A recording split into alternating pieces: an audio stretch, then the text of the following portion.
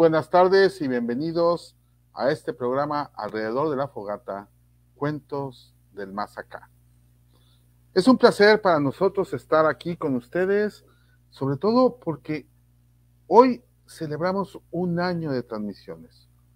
Un año en donde hemos aprendido, en donde hemos crecido, en donde hemos tenido la gran fortuna de llegar a muchos espacios dentro de nuestra República Mexicana, pero además hemos trascendido ya nuestras fronteras. Tengo el gusto de decirles, ¿no? Que nos ven en diferentes partes del mundo, nos ven en Canadá, nos ven en Estados Unidos, nos ven en Argentina. Una gran cantidad de compañeros argentinos mediadores se han estado uniendo al colectivo Lectores en el Desierto y esto es satisfactorio para nosotros. Nos ven en Guatemala, nos ven incluso, nos ven pasando el Atlántico, nos ven en España, nos ven en Marruecos, en diferentes países, y esto, créanme, para nosotros es un gran orgullo, porque es un trabajo hecho con ustedes, hecho para ustedes, pero sobre todo para que la mediación lectora y el, y el proceso de fomento a la lectura se lleve a cabo.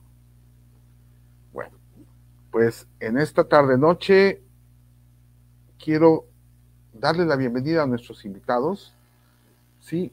Y voy a iniciar por una de las personas que me apoyó y que estuvo dentro de la primer fogata, y sin ella realmente las fogatas no hubieran nacido. Quiero presentarles a, Teresa, a Tere Basaldúa. Ella es mediadora, poeta y compañera fundadora de Alrededor de la Fogata. ¿Sí? está y viene desde Delicias, Chihuahua. ¿Cómo estás, Tere? Bienvenida. La primera fogata. Y sin ella.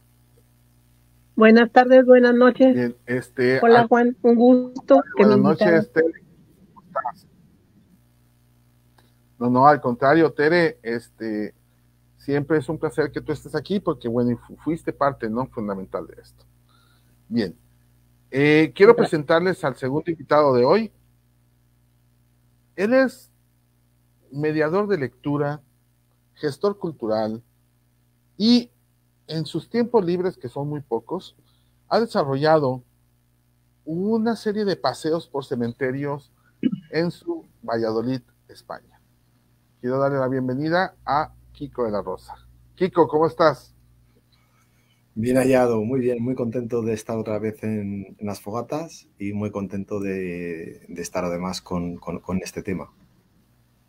Sí, sí, gracias, gracias. Y esta es tu casa, siempre bienvenido y pues para nada, ¿no? Es, es, un, es un honor para nosotros. ¿sí? Bien, voy a presentar a mi, a mi cuarta invitada, no, a mi tercera invitada, y ella es Judy Goldman autora de cuentos y libros para niños, publicados entre otros, ¿verdad? De, en ediciones SM, en ediciones Norma, en ediciones Castillo, Edelvives México, por Rúa, el CEAP de Estado de México y Oceanía Travesía. Ha publicado en Estados Unidos y en algunos otros países. Vive en Huixquilucan, Estado de México, y es que es una parte conurbana de la Ciudad de México. Escribe mucho sobre México, cuentos de tradición oral, fiestas de Día de Muertos, e incluso escribe de insectos y flores comestibles de nuestro país. Imagínense, siete de sus libros son parte del programa de bibliotecas escolares, de aula y de preescolar de la SEP.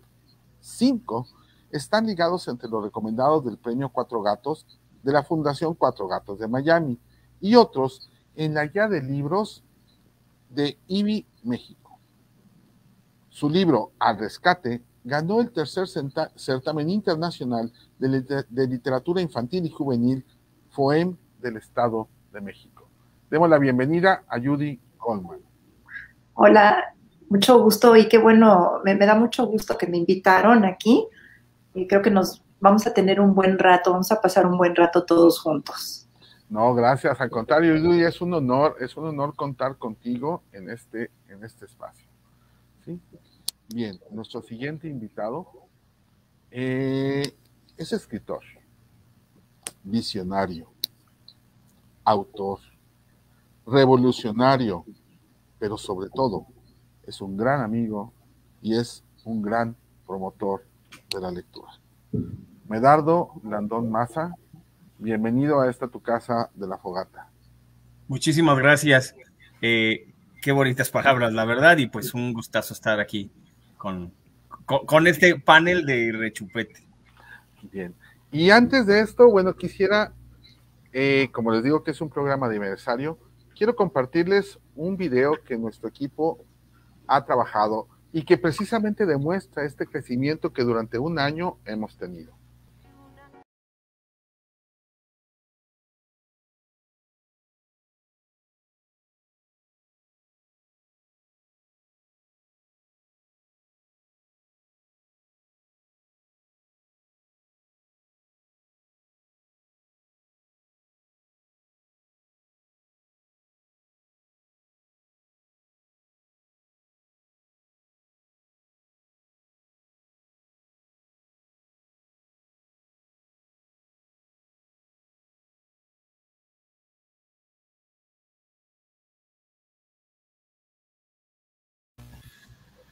Les parece?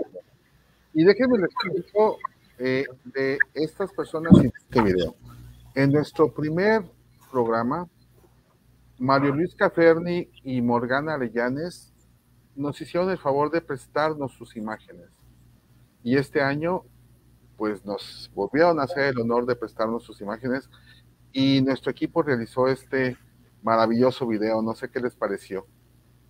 Buenísimo. Sí, ¿verdad? Sí. Y quiero también, como les digo, estamos de plácemes porque realmente el equipo se ha estado puliendo, ¿no?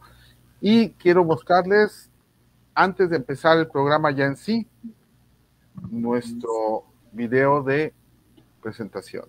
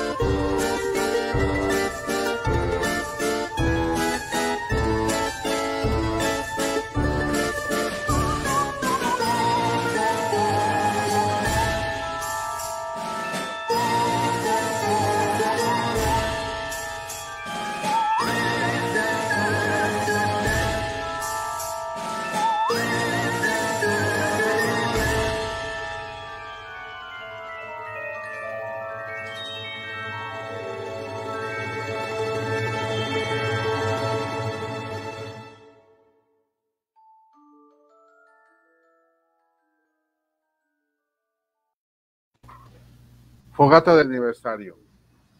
Fogata donde le vamos a rendir un homenaje a nuestros muertos, a nuestras tradiciones, a nuestras costumbres y reivindicarlas dentro de una gran este, oleada de nuevas o de viejas tradiciones, pero tradiciones desde otros lados.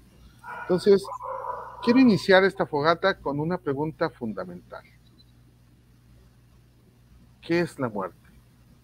¿Qué es la muerte para cada uno de nosotros? ¿Qué es la muerte para ti, Kiko? ¿Qué es la muerte para ti, Medardo? Y no estoy hablando del fin de, de la vida de alguien, sino esta figura de la muerte. No sé si alguien tenga por ahí alguna respuesta a esta interrogante.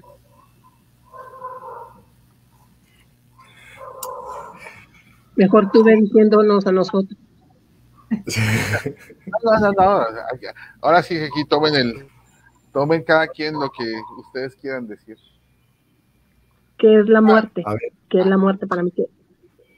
Para mí, ¿qué representa la muerte? La, la, muerte en sí representa para mí un cambio, una, una transformación.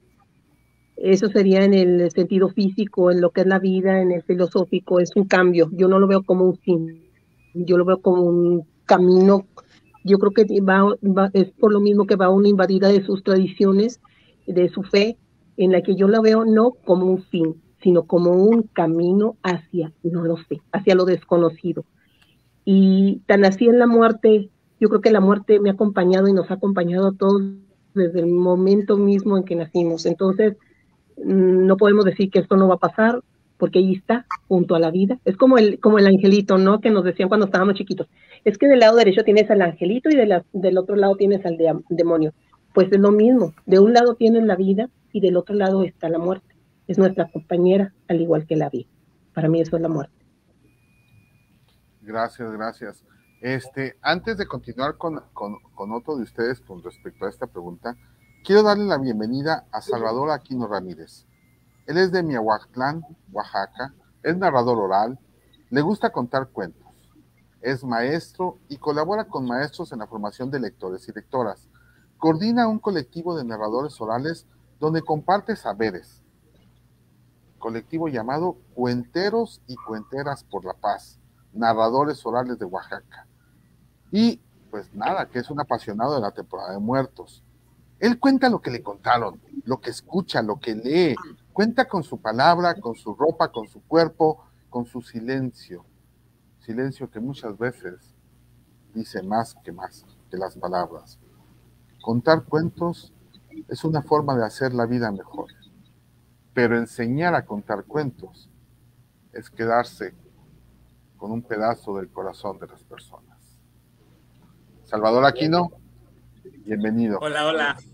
Hola, ¿qué tal? Qué gusto de estar aquí con ustedes. Qué gusto, qué gusto. Hola, Kiko. Hola, Judy. Hola, Tere. Hola, hola. Medardo. Medardo, Medardo. No, es que no, no, no, no veo yo muy bien. eso de la nueva, de estas nuevas formas de comunicarnos, eh, mi conectividad andaba por ahí haciéndome, haciendo de las suyas, pero ya estamos aquí. Qué gusto estar con ustedes. Gracias al colectivo, eh, al colectivo de narradores, de, perdón, de lectores en el desierto. Muchas gracias, Juan José. Y bueno, pues aquí estamos para compartir, compartir saberes, compartir la palabra y compartir cuentos. Gracias, gracias. Pues bienvenido. Y sabes que iniciamos esta fogata con una pregunta interesante que me gustaría también hacerla a ti. ¿Qué es la muerte? La muerte. La muerte, para mí, es eh, el surgimiento a otra, a otra forma de vivir, a otras formas de existencia. La muerte no, para mí la muerte no es el fin. La muerte es una transformación. La muerte es una transformación, la muerte es continuar nuestra vida, pero ahora de distinta, de distinta manera. Ah, hace, mm, hace más del mes falleció mi abuela, que era quien me, quien me contaba historias. Pero ella me decía, cuando platicábamos de este tema, ella me decía, y cuando, cuando yo ya no esté, cuando yo ya no esté físicamente, búscame en los cuentos y ahí me vas a encontrar. Y bueno, ella siempre me ha acompañado. Pues para mí la muerte es, es, es eso, es, es una transformación. Wow, qué interesante, ¿no? Kiko, vamos. Más tarde. Para, mí, para mí la muerte, para mí la muerte es el, sello que, registra nuestro, nuestro tránsito durante, durante la vida. Si no dicen que todos eh, nos convertimos en buenos cuando nos, cuando nos morimos, que hablan muy bien de ti, siempre van a hablar muy de ti en tu funeral, pero yo creo que más allá de eso y, y de cinco o seis años para acá que, he estudiado un poco los cementerios, que he visitado cementerios, sí que me di cuenta de que eh, cualquier persona, tanto haya sido buena o haya sido mala, hasta que no eh, está muerta, no se, da ese reconocimiento, tanto bueno como malo. O sea que yo un poco creo que es el, nuestro sello eh, que, que nos va a garantizar la, eternidad, dependiendo de lo que hayamos hecho a lo largo de nuestra vida. Gracias, gracias. Este, a ver, compañeros. Judy. Bueno, este, eh, estoy de acuerdo con Salvador y con Tere y con Kiko, porque, por ejemplo, en mi caso, eh, pues cuando fallecieron mis abuelos, mis papás, eh, los extrañé muchísimo, obviamente, los sigo extrañando, pero por otro lado siento que están conmigo, porque pues las experiencias vividas con ellos, las, este, eh, todo lo que tuve con ellos, que ellos me proporcionaron y demás, pues sigue estando presente en mí. Entonces, aunque los extraño, que no están aquí físicamente, eh, sé que están conmigo de todos modos. Entonces, sí siento que es como esa transformación a otra cosa, otra situación, y están contigo de todos modos. Sí, sí. Creo que le voy a platicar algo. Eh, el día que mi señora madre murió, eh, y me tuve la fortuna de yo estar con ella en sus últimos suspiros. Y precisamente, ¿no? Ella murió en paz porque vio que la última preocupación que era yo, que soy el más, el último de sus hijos, ya estaba en paz. Y había pasado de esta juventud rebelde a una juventud un poquito más sentada. Y, creo que este, este encuentro con la muerte de esta manera eh, me hizo totalmente redimensionar aquello que yo sabía, aquello que yo tenía por ahí eh, conocido por mitos, leyendas, narraciones, ¿no? Y, y me di cuenta que la muerte es eso, es esta paz, esta mm, calma después de un río muy embravecido. Y esto para mí es esta parte, ¿no? La muerte. Medardo. Eh, creo que el tema para mí es un asunto de un relámpago de conciencia. Es decir, nuestros muy amados animales del mundo natural están en el aquí y ahora, y ese aquí y ahora es el que nosotros como seres humanos intentamos rescatar una y otra vez, ¿no? Que el budismo, por ejemplo, te dice aquí, presente, aquí y ahora. Y nosotros, por el relámpago de la conciencia, caímos en cuenta de, pues, de muchas cosas. Yo no digo que los perros no la tengan, porque además luego mis perros me hacen este, cuestionarme muchas cosas al respecto de lo que ha dicho entre el mundo animal y el mundo, el mundo humano. Pero voy a concretar diciendo que el, el, el, ser humano, contemplándose, contemplando su finitud, eh, se enfrenta ante la gran pregunta de qué, qué sentido tiene esta existencia. Y en el qué sentido tiene esta existencia, todas las civilizaciones se han puesto a encontrar no solamente caminos de posible existencia, sino el, el, el gran consuelo el gran consuelo de pensar que pudiera haber algo más que solamente se baja el switch y en la oscuridad dejamos de existir por siempre, por siempre jamás. Y entonces, pueblos que no tuvieron contacto entre sí han desarrollado eh, eh, tradiciones, em, iba a decir mitología y religiones, pero en realidad desde mi punto de vista son lo mismo. La única diferencia es que las religiones son una mitología que todavía se cree en ellas y las mitologías es mirando atrás lo que fueron las religiones de otros pueblos que decimos, bueno, pues es que ya, o, ya no están los pueblos o ya se miran con mucha distancia esas religiones y se miran como si fuera pensamiento mágico. Pero el sentido es el mismo. El ser humano se plantea la posibilidad de que pudiera haber otra cosa más allá. Y en ese sentido, eh, acercándonos un poco al tema de que, que también nos aboca hoy, Día de Muertos. Pensé que iba a ser tu pregunta y tengo aquí en la caja eh, muchas cosas que decir al respecto, pero ya me estoy extendiendo en esto, entonces voy a guardar esto para cuando de verdad lo preguntes. Pero lo que quería yo decir es que eh, cuando se toca el tema de un posible espectro, ¿no? de, una de un posible fantasma, hay detrás de ese tema que parece de espanto una profunda y muy hermosa esperanza.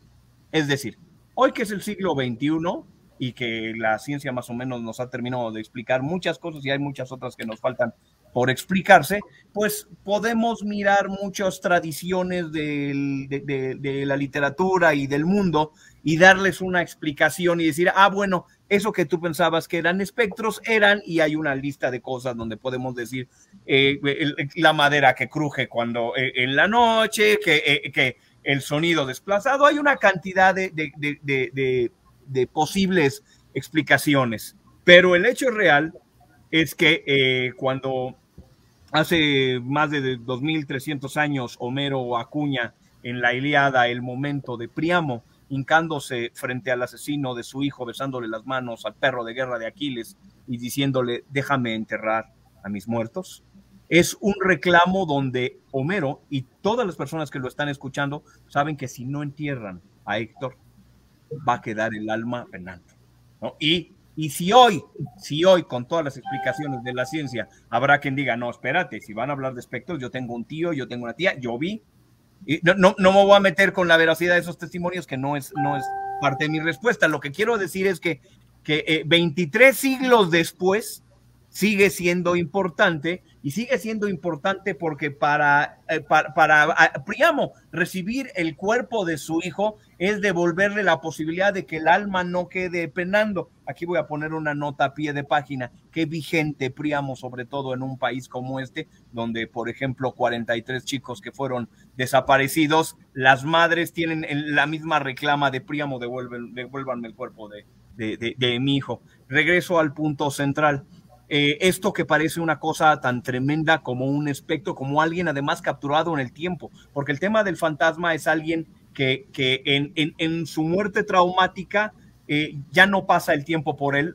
por eso está construido Pedro Páramo también como está construido, sí, con la muerte del tiempo en lo más posible dentro del relato, pero llegando al final de esto, lo que quería yo decir es que aunque los relatos de fantasmas parecen tener miedo y espanto detrás, es la ulterior esperanza de decir, espérate, porque si hay un fantasma, es que hay más allá.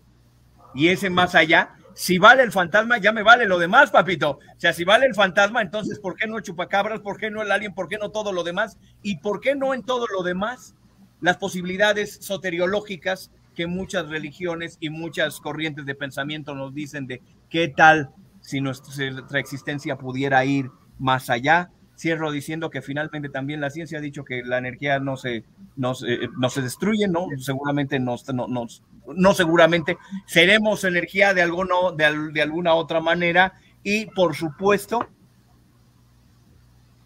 Bien, este, espero que ahorita regrese porque estás... La, la, energía.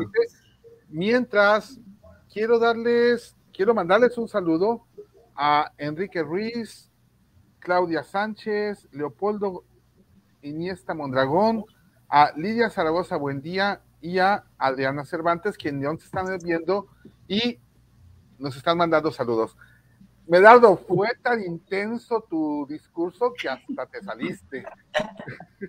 Perdón, concluyo. Eh, por supuesto que el tema de la muerte es el gran eh, tabú de la humanidad y el punto donde nos significamos porque no queremos desaparecer, porque no queremos que desaparezcan nuestros seres queridos, porque no queremos que desaparezca todo lo demás. Y ese, la gran tensión y drama que nos produce ese temor al final es también prepararnos a lo largo de la vida, que nos sirva la vida para prepararnos para vivir nuestra vida lo mejor posible y, que cuando las fuerzas supremas del cosmos nos llamen a su lado, pues este, eh, todos tengamos el, mejor paso a lo este imperecedero. Disculpen lo extenso de mi, mi respuesta, les devuelvo el balón por allá. No, no, gracias, al contrario. Pero creo que precisamente diste todo este gran panorama, ¿no? Sobre lo que es la muerte para muchos de nosotros y la muerte como la vivimos en este momento. Y aparte, la importancia social, política, eh, revolucionaria, eh, familiar de lo que es eh, la muerte y los procesos de muerte. Y entonces, una vez que ya más o menos platicamos sobre lo que es la muerte, me gustaría entonces resignificar el Día de Muertos. Porque yo vivo en Ciudad Juárez, Chihuahua, yo vivo en una frontera con Estados Unidos, en donde el, el Día de Muertos mexicano se une con la tradición norteamericana de Halloween y se hace una mezcolanza entre Halloween, Día de Muertos, medio extraña, que las que luego las, las personas del centro de la República nos reclaman que nosotros no, no mantenemos estas tradiciones, pero luego nosotros decimos que son nuestras nuevas tradiciones, y luego los de Estados Unidos dicen, pero es que Día de Muertos ya se empezó a ir más allá, porque crean, déjenme les digo, Día de Muertos también se va para aquel lado, y ustedes pueden ver eh, pueblos en Texas, en California, en Nuevo México, que celebran y hacen altares del Día de Muertos. Entonces, no es solamente de allá para acá, creo que esto es una simbiosis que va de allá hacia acá. Entonces, creo que también el Día de Muertos es significativamente importante que cada uno de nosotros, o al menos así, uno o dos de nosotros, digamos qué es. Y Salvador, te voy a dejar hasta el último porque precisamente eh, el espacio donde tú estás, para mí, es como el nicho resguardador o la cofradía de esta tradición. Kiko, tú eres el más lejos. Sí, aquí no tenemos Día de Muertos. Siento deciros que aquí en, España, eh, evidentemente Halloween se está comiendo eh, o, ha venido porque aquí no había nada, aquí no se celebraba, no se celebraba nada. Aquí lo que celebramos es el Día de Todos los Santos, ¿de acuerdo? Que es el día posterior. Eh, y aquí es todo como, se celebra todo como de una forma muy, no sé cómo decirlo, muy seria.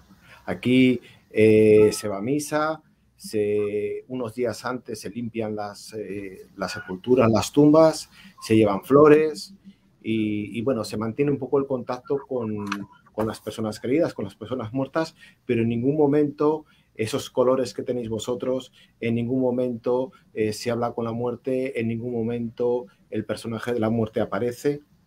¿De acuerdo? Es todo como mucho más... Eh, no sé cómo decirlo. Yo que sí que conozco porque, aunque no he estado en vuestra fiesta, he ido o voy a ir pues, días posteriores, todavía está eh, la decoración, todavía está ese espíritu de, hay algunos altares todavía incluso, incluso puestos, sí que lo he visto, y no tiene que ver absolutamente nada con la tradición del Día de Todos los Santos aquí en, aquí en España. Y por el lado de Halloween, bueno, pues se ha convertido en una fiesta, en una fiesta que no tiene nada que ver tampoco con lo que, con lo que hacéis vosotros allí. No hay otra cosa. Gracias. Y Judy, aquí en esa parte sí quiero platicar contigo. Eh, eres una investigadora de los ritos, eres una investigadora de, estas tradiciones mexicanas, de esta cultura ancestral que nos, que nos enorgullece y lo has escrito y lo has puesto para que los demás lo lean, para que los demás lo conozcan. Entonces, la palabra es tuya. Eh, bueno, eh, antes que nada les, les voy a platicar que yo celebraba Halloween desde que era niña porque yo estudié en un colegio americano aquí en la Ciudad de México y obviamente había más énfasis en la cuestión de, Halloween y mis papás nos llevaban a mi hermano y a mí y a muchos de nuestros amiguitos que vivían más o menos en la misma zona, nos llevaban a pedir dulces. Y fue hasta después, ya bastante más grande, que ya no era yo una niña, cuando empecé a, a, ver todo lo de Día de Muertos y me fascinó, me encantó. Y me metí poco a poco a investigar más. Eh, este libro, que justo hoy lo presenté en la, en la, la, Secretaría de Cultura de Puebla, eh, hoy empezó a hacer un evento que es parte presencial, parte híbrido, pero me invitaron a presentar este libro que se llama Las Almas de la Fiesta y otros cuentos de Día de Muertos Ediciones Castillo y con ilustraciones de Israel Barrón. Mi editora en ese entonces, Mariana Mendía, un día me dijo, oye, ¿por qué no hacemos un libro que tiene que ver con Día de Muertos? Y yo estaba mucho más acostumbrada a lo que se hace aquí en la ciudad, pero yo ya había escuchado otras cosas de, de otros estados, como por ejemplo que en Michoacán, donde llegan las mariposas monarca, llegan en octubre y la gente que vive en esa zona tiene la creencia que las mariposas son las almas de los difuntos que regresan a México a tiempo para celebrar las fiestas y para ver a sus familiares. Y me puse a investigar y me encontré con unas tradiciones hermosísimas porque el libro tiene cinco tradiciones diferentes de, Veracruz, de Michoacán, de, diferentes estados, uno de Puebla, del Estado de México y ya, no me acuerdo de dónde más, de Morelos, el Estado de Morelos. Y fue, fue divertidísimo, fue hermosísimo. Usé la tradición para armar los cuentos, para desarrollar las, las, historias y los personajes. Y pues me encanta, me sigue encantando este libro. Creo que, creo que el Día de Muertos da para muchas cosas, para abrir, abrir los canales de comunicación con los más chicos. El tema de la muerte con los niños y niñas chicos es como tabú para mucha gente. No quieren tocar el tema porque no saben cómo tocar el tema con, los más chicos. Y con un libro se puede, se puede empezar la conversación para, para abrir el tema, para hablar con ellos y, explicar pues, lo que uno puede explicarles a ellos, ¿no? Claro, sí. Aquí me gustaría, pues, este, hay un, hay un libro, ¿no? Que yo utilizo mucho precisamente El Pato y la Muerte. Sí. De Rook, que es Francisca y la Muerte, de Hinojosa también, ¿no? Y pues ahorita precisamente nos decía nuestra, nuestra amiga Norma Oronoz, el gran libro de Macario. Macario yo creo que es esta, esta literatura que nos pone precisamente con, la muerte a un lado. Y bien, pues Salvador, te ha llegado la hora. bueno, creo que el de Francisca y la muerte es de Onelio Jorge Cardoso. Sí, es cierto, perdón. me de Cardoso. bueno, bueno, nosotros estamos aquí más al sur. Yo he de decir una cosa, en algún momento se dice yo, no al Halloween, no al Halloween, no, eso, eso no, eso no es de nuestras culturas. Pero somos culturas vivas. somos culturas vivas y que estamos en movimiento. Y no existe una cultura así completamente pura. Y en este convivir, y en este convivir, y en este ver otros modos, en esta apertura a la otredad, pues también, eh, también ahora ya no, hay quien celebra el Halloween, qué padre, a mí también en algún momento, ah, pues sí, también lo celebramos, no hay, no hay problema alguno, porque somos culturas vivas. Y entonces eso, eh, eso, eso es lo que ahorita me ha, ah, em, lo, que ahorita me, me, tiene aquí con eso de que no, pues no, no puedo decir ni no a esto ni no al otro, porque es abrirme a la otredad, es abrirme a los otros, qué es lo que, qué, qué es lo que hacen los otros y qué es lo que celebran y por qué lo hacen. Bueno, yo estoy aquí al sur, en el estado de Oaxaca, y bueno, el estado de Oaxaca tiene 570 municipios. Cada municipio tiene sus propias costumbres y sus propias tradiciones. Eh, somos ocho regiones geográficas y cada región tiene subregiones y cada subregión tiene otras regiones más pequeñas todavía. Entonces, somos una amalgama de, eh, lenguas, de lenguas, de maneras de vestir, de maneras de, eh, de maneras de comunicarnos. bueno, de costumbres y de tradiciones. Yo les voy a contar de la Sierra Sur acá de Oaxaca, en la Sierra Sur, de las ocho regiones geográficas que, que vemos. Yo estoy en la Sierra Sur, Miahuatlán de Porfirio Díaz, se llama mi pueblo. Y aquí para nosotros, el Día de Muertos, que no es el Día de la Muerte, no, para nosotros es el Día de Muertos, porque recordamos a nuestros difuntos y lo celebramos y, lo celebramos y es una gran fiesta y es la fiesta más grande. Para nosotros es la fiesta más grande que pueda existir, es la fiesta de los difuntos. Y comenzamos desde el 15 de octubre. Desde el 15 de octubre comienza la fiesta, ¿sí? Entonces, desde el 15 de octubre comienza la fiesta porque es, le llamamos también nosotros la fiesta de la igualdad. Porque, bueno, el 15 de octubre vamos todos al cementerio, vamos al panteón y vamos a invitar a nuestros, eh, a nuestros familiares difuntos les llevamos, vamos a limpiar las tumbas, les llevamos flores, les llevamos veladoras. Y eh, si hay alguien más que queramos invitar, hay un espacio en el centro del panteón donde ahí, si no está su tumba ahí, pero ahí los podemos ir a invitar y vamos y, platicamos con ellos. Y te esperamos en la casa, ya sabes, aquí en, en la casa, ahí te vamos a estar esperando. Así que llegas, por favor. Y nosotros lo creemos que ellos llegan y vienen, porque nosotros así lo creemos. Y eh, pues hay una, hay una, hay un ambiente de festividad que inclusive ahorita en, tiempos de pandemia, aún así con pandemia, sí hubieron algunas cosas que ya no, no hicimos tanto, pero sí seguimos, seguimos practicando. El 15 de octubre vamos al panteón a invitar a nuestros difuntos y después de ello hay que, hay que hacer todos los preparativos, comprar, porque hacemos fiesta, hacemos fiesta, hay comida, hay mole, hay tamales, eh, hay guajolotes, se tienen que matar guajolotes, este, hay que hacer dulces, dulces de calabaza, hay que hacer tamales, chocolate, pan de yema, mezcal, cohetes, flores, música, de todo. Porque el día, eh, los días más grandes para nosotros, hoy, por ejemplo, el 30, hacemos un que le llamamos la Plaza de Flores. Y hoy el tianguis dura todo el día y toda la noche. Eh, y vamos a comprar las ofrendas, lo que, vamos a, lo que vamos a ponerle a nuestros difuntos. Tiene que ser fresquecito. Y eh, nosotros también tenemos que comprarnos algo nuevo, tenemos que estrenar algo, la, la, casa se tiene que componer algo, la pintas, le pones un vidrio, una ventana, algo, una cortina nueva, porque van a venir, van a venir nuestros familiares. Y eh, aparte, de, aparte de ello, bueno, el día, hoy, hoy vamos a Tianguis a hacer nuestras compras y compramos este pan, pan de muerto, que es un pan, un pan especial, es un pan que se hace con yema, con huevos, eh, con solo la yema de los huevos, con mantequilla, delicioso.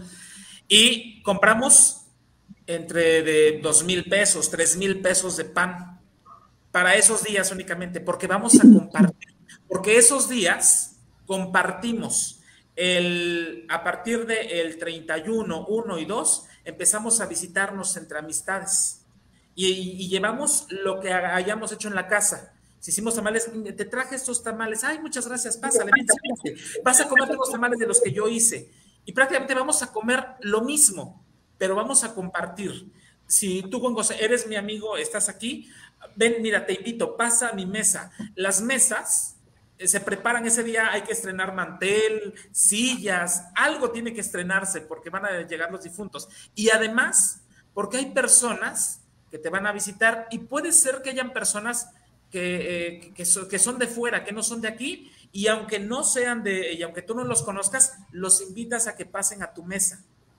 Entonces, es una fiesta tan importante para nosotros porque compartimos. Yo doy tamales, me dan tamales. Yo les doy un mezcal, me dan mezcal. Yo les doy chocolate, me dan mezcal, me, dan este, chocolate. Yo les doy pan, me regresan pan. Damos lo mismo. Y le llamamos así la fiesta de la igualdad. Ahí, ese día, todos desayunamos, comemos y cenamos lo mismo. Y es una fiesta que se prolonga hasta los ocho días, hasta el 8 y 9 de noviembre. Para nosotros el día 31 llegan las almas de los, de los niños. Y entonces hay que montar la ofrenda con las cosas de lo que le gustaban a los niños.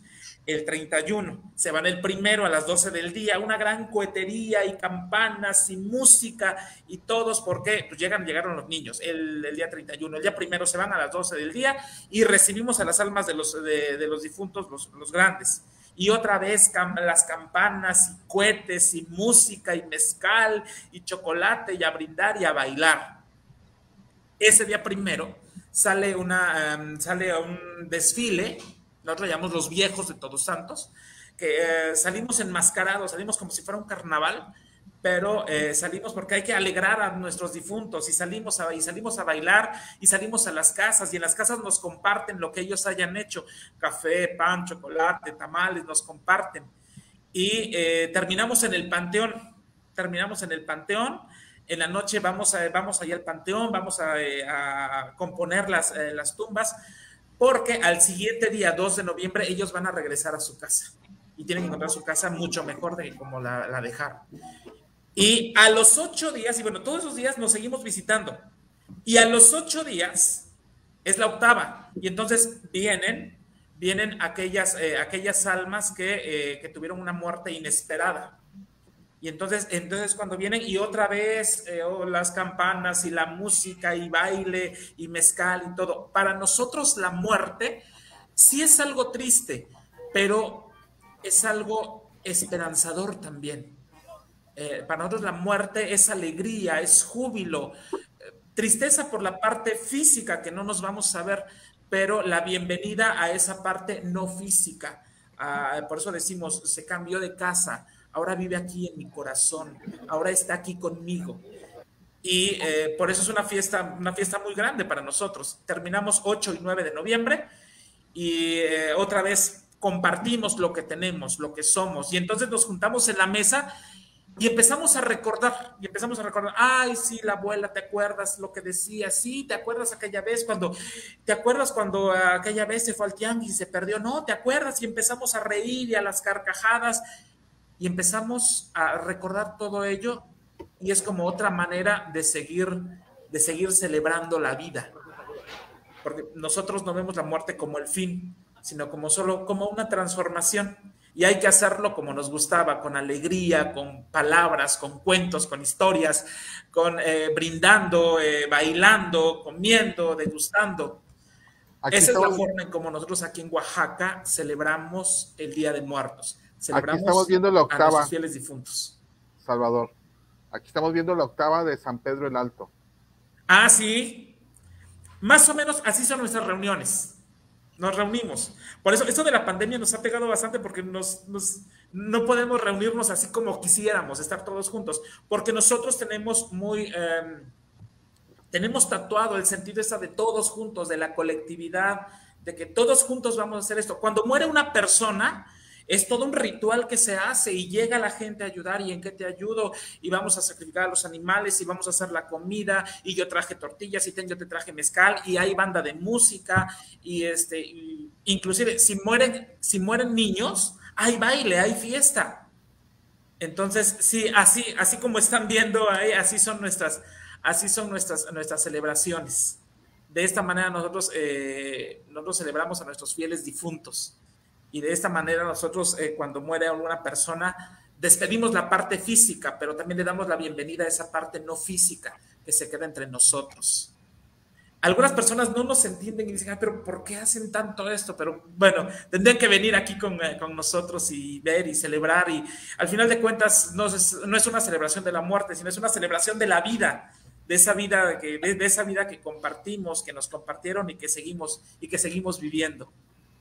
Qué interesante. Y bueno, dice Freudian Martínez que ahí te mando un mensaje, me que qué bien Salvador por compartir nuestras costumbres y tradiciones de Oaxaca en el Muertos. Ah, nos manda saludos a todos. Y que no se te olvide el mezcal y la música de banda. Claro, claro. sí, también quiero mandarle un saludo a Carolina Santizo Domínguez y a Freudland que nos está por ahí viendo. Este, pues imagínense, es que realmente es un abanico, ¿no? Un abanico inmenso de tradiciones. Y esto es precisamente lo que nos llena. Pero sé que también el Día de Muertos, mande, adelante. Me gustaría agregar, el norte, como dijiste tú, es, es otra cosa. Pero ahorita que, que, estaba diciendo Kiko de la celebración del Día de Muertos, yo no soy de Chihuahua, pero soy del norte, soy de Coahuila, soy de Saltillo la celebración de Día de Muertos para muchos de los saltillenses es bien distinta y me recordó lo de, lo de Kiko. porque Para, para nosotros es sobriedad, es ir a la iglesia, limpiar las tumbas y es un día prender veladora. Fíjate cómo, cómo todavía tenemos costumbres de los españoles, esa. Y yo quiero hablar de una costumbre muy bonita que hay en, en Valle de Allende, Chihuahua para celebrar las almas de los niños el día, para la noche del día primero de noviembre, a mí me tocó estar allí, me tocó estar en una celebración. Entonces, se juntan las familias y, empieza a oscurecer y empiezas a ver que bajan, bajan por los cerros, ponen un tendido enfrente de determinadas casas, un niño se acuesta, le ponen sus cuatro veladoras y le empiezan a rezar. Y casi siempre el que lleva la oratoria, es el padre de familia. Es una, o sea, que es una convivencia familiar. Y a pesar de que yo creo que también por lo mismo apartado de Valle de Allende, que ya está para el sur, ¿qué será? Sureste del estado. Una amiga me comentaba que esa misma costumbre se hace en Zacatecas, en algún lugar de, de Zacatecas. Y hay una relación con Halloween por decir relación entre comillas. ¿Por qué? Porque eh, después del rezo los niños piden dulces y los dulces que se dan a los niños, bueno, hasta, ¿qué sería? El siglo pasado, se les daban dulces cristalizados. Y es una costumbre que se desconoce mucho en nuestro estado. ¿Sí? Entonces, Chihuahua, el norte, el norte, yo creo que todos somos unos híbridos completos porque sí es cierto, eh, en, cierta forma muchos sentimos que vienen y nos imponen el, el, altar de muertos, pero no, no, porque nosotros, el norte, estamos constituidos en gran parte, sí es cierto, por gente del, del norte, del sur de Estados Unidos, por los indígenas, pero también por gente que llegó del sur. Entonces, ya somos una mezcla, nuestras celebraciones son distintas. El Halloween no tiene nada que ver con Día de Muertos, nosotros lo diferenciamos. Es una fiesta comercial que se lleva en Estados Unidos, que no, no es cierto que tiene que ver con el demonio, no, es una fiesta comercial. Sí, hasta ahí mi intervención, gracias.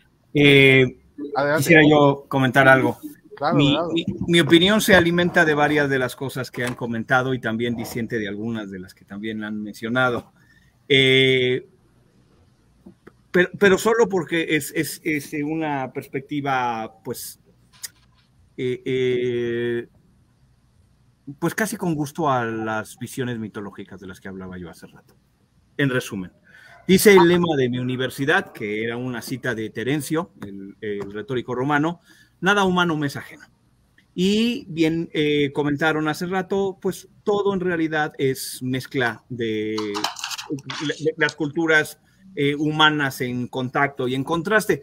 Por cierto, contacto y contraste donde a veces eh, resulta en mareas más fuertes, momentos históricos de, expansión de, de, imperios y de naciones. Pero, por ejemplo, este tema de los tamales del 2 de febrero, que es la Candelaria, que corresponde también a la celebración de Beltane en el calendario céltico y que corresponde eh, y esta, esta eh, em, rosca de reyes, donde tenemos justamente el niño metido ahí en, la rosca y que proviene de la tradición romana de haber metido una moneda de plata en el pan. Entonces, todo viene de todos lados. Si algo tan mexicano para nosotros como el mariachi, bueno, también tiene sus orígenes en ciertas migraciones de algunos músicos que vinieron de, este, que vinieron de Europa, de Europa del Este. Y Europa, Europa es primordialmente de entre las muchas capas y de las muchas regiones, influencia grecorromana. Y la influencia grecorromana es primordialmente influencia del Medio Oriente. Entonces, pues eh, todo es una baraja de dominó donde desde mi punto de vista todo vale. Una. Dos. El Día de Muertos, como yo lo veo, es un momento de encuentro de dos mitos eh, que, eh, que me da alegría verlos porque les tengo mucho cariño a los dos. Es la herencia Olmeca y nuestros pueblos más ancestrales que fueron a dar a, estas tradiciones de Día de Muertos allá en, distintos pueblos originarios y el Samhain Celta, el Samhain Celta que además está vinculado por supuesto con la noche de todos los de todos los santos, después de todo la noche de todos los santos que viene de tradición eh, eh, cristiana, pero una tradición cristiana ya eh, pues en Europa estaban desde cierto tiempo eh, atrás, antes de la cristiandad, los diversos pueblos celtas, y vaya que, por ejemplo, en España había varios de esos, de esos eh, mm. pueblos celtas todavía, pues mm. este, Galicia, Gales, la Galia y el gaélico de los irlandeses no es casual que está en, en esa vinculación, y la numancia, la famosa numancia de los romanos y de Cervantes, pues es, es céltica pero ya se me está yendo el amor a los eh, celtas demasiado lejos para lo que yo quiero decir. Y lo que yo quiero decir es que finalmente este, este eh, eh, lo cuenta Ray Bradbury en un libro muy hermoso que se llama El viaje del el, árbol de las brujas, donde cuenta cómo hay unos niños que van al Egipto antiguo a los mitos de Día de Muertos y luego van a justamente al Samhain celta, donde pues la imagen medieval de la, de la guadaña pues es una herramienta de, es una herramienta campesina. Y luego Ray Bradbury dice, pero los buenos, los buenos, los buenos para esto es, es, México, ¿no? Y pasa a dedicarle ya al final del libro al, al, tema del Día de Muertos. Lo que quería yo decir es que el, el, ritual agrícola del, del, del, Samhain presente en distintas eh, civilizaciones es finalmente este velo donde la vida y la muerte eh, se, por un momento se, se, levanta la cortina para decir hola, hola, en, que, que puede resultar aterrador para algunas personas de pronto que llegue tu tío y te toque la puerta, como aquel cuento de la pata de mono de Luis Stevenson, ah, donde aquel pide que regrese el hijo de la muerte, pero el hijo murió en una fábrica. Entonces cuando le toca la puerta dice, puta madre, va a estar destrozado, mejor no le abre la puerta, ¿no? Esa es una posibilidad. Y del otro lado de la moneda está en, justamente en, Pedro Páramo, pues los muertos que te traen tu tecito y que están en una cotidianidad pues de, completa este eh, eh, realismo mágico.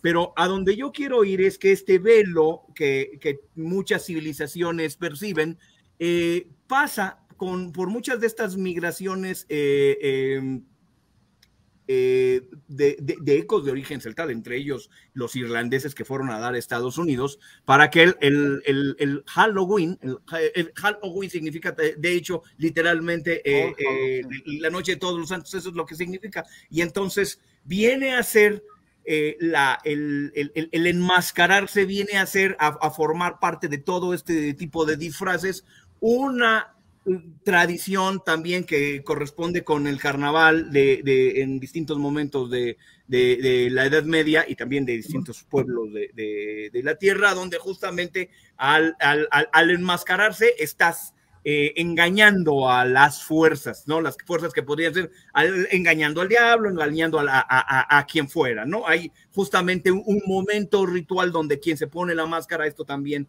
está presente en muchos de las, eh, de, las visiones más, más, más, serias y antropológicas al respecto de muchas de las máscaras africanas, ¿no? Entonces, esa máscara es apoderarse de esa, eh, apoderarse de esa potencia. Y entonces, ¿de qué tenemos máscaras de las más famosas de, del Halloween, que como decía yo, son ecos del, del, del Samhain? Voy a, voy a mencionar tres rápidamente. Uno, la calabaza, ¿no? La calabaza que nos lleva a, a Jack O'Lantern y que nos lleva con Jack O'Lantern a aquel eh, eh, que engañó al diablo y que justamente eh, este eh, Jack Cabeza de Calabaza, una vez más, nos, remite a, este, a esos mitos celtas de los donde estamos hablando, pero es esto, es volver a engañar a las fuerzas sobrenaturales porque, nota pie de página, también el árbol de Navidad eh, pagano, escandinavo, era esa noche donde estemos todos juntos, por favor, ¿no? Para, para, para, para, para sobrevivir a la larga noche con la fogata al pie de, del árbol. Otro de los disfraces más comunes que podemos encontrar entre los niños es eh, las de brujas. Y esto es un tema largo, triste, doloroso e importante, porque nos lleva al tema de la reivindicación de los derechos de la mujer. Claro que la, imagen de la, de, la bruja de los disfraces corresponde a la del mago de Oz, a la de la piel verde, a la del sombrerito y a la que viaja en la escoba, pero para decirlo rápidamente, en aquel momento en la Edad Media donde deciden que el sexo es diabólico y si las mujeres incitan a los hombres, bueno, o sea, las mujeres son bellas, entonces los hombres sienten algún tipo de deseo eh, por ellas, pues ellas deben ser el diablo, entonces a quemarlas de todas, ¿no? Entonces, eh, en, ese, en ese mismo momento y en las pulsiones de, control ideológico ocurridos en, en, los procesos de la cristiandad no pueden con muchos de los pueblos paganos, parte de, del convencimiento de eso va a ser la Navidad, donde ponen el posible nacimiento de Cristo en marzo, lo ponen hacia, hacia el, el solsticio de invierno, pero, pero, el tema es que la palabra witch, bruja, viene de, del, del gaélico Wicca, y Wicca significa sabiduría, porque era una palabra que correspondía a unas mujeres sabias, a unas mujeres parteras, a unas mujeres en dominio de su sexualidad, a unas mujeres que eran buenas para la sociedad en donde vivían, ¿no? Y que, y que entonces, como saben cosas, como son importantes para la comunidad, entonces son marcadas para ser acusadas de, de, servir al diablo. y una vez más... Peligrosas para la sociedad. Claro. Entonces, y, y, entonces entra el tema del pelo rojo, el tema del pelo rojo, ah, el diablo, el, diablo maligno, no, el pelo rojo que también corresponde a muchas eh, tradiciones célticas, porque el 2% de la humanidad eh, tiene pelo rojo, en 2%, pero acercándose a las poblaciones de, origen celta son el 10%. Entonces, pues por supuesto que en muchos de estos pueblos que encontraban paganos había muchas personas de, de pelo rojo a las que entonces era fácil, rápidamente etiquetemos y digamos, y, digamos también de paso que hay un, eh, un velado o no tan velado tema de discriminación para eh, los pelirrojos, claro, pero hay tantas discriminaciones hacia los eh, afrodescendientes y, este, y bueno, en nuestro país a, los eh, em, a, los pueblos originarios, que pues ya esa pequeña discriminación ese, al, al, pecoso, pelirrojo no nos llega de tanto. Concluyo diciendo, entonces eso es lo que construye la imagen de la bruja, que van a transformar en una, en una criatura infernal como una eh, eh, pues como una total eh, crueldad a la figura de la, de la mujer sabia. Pero ahí está el símbolo de esa guerra simbólica, ideológica de hace muchísimo tiempo y que tenemos ahí, ahí presente. Bueno, y el fantasmita, y lo del fantasmita ya lo platiqué hace rato. no que el fantasmita finalmente también es una figura de esperanza porque pues, pues puede haber algo más allá.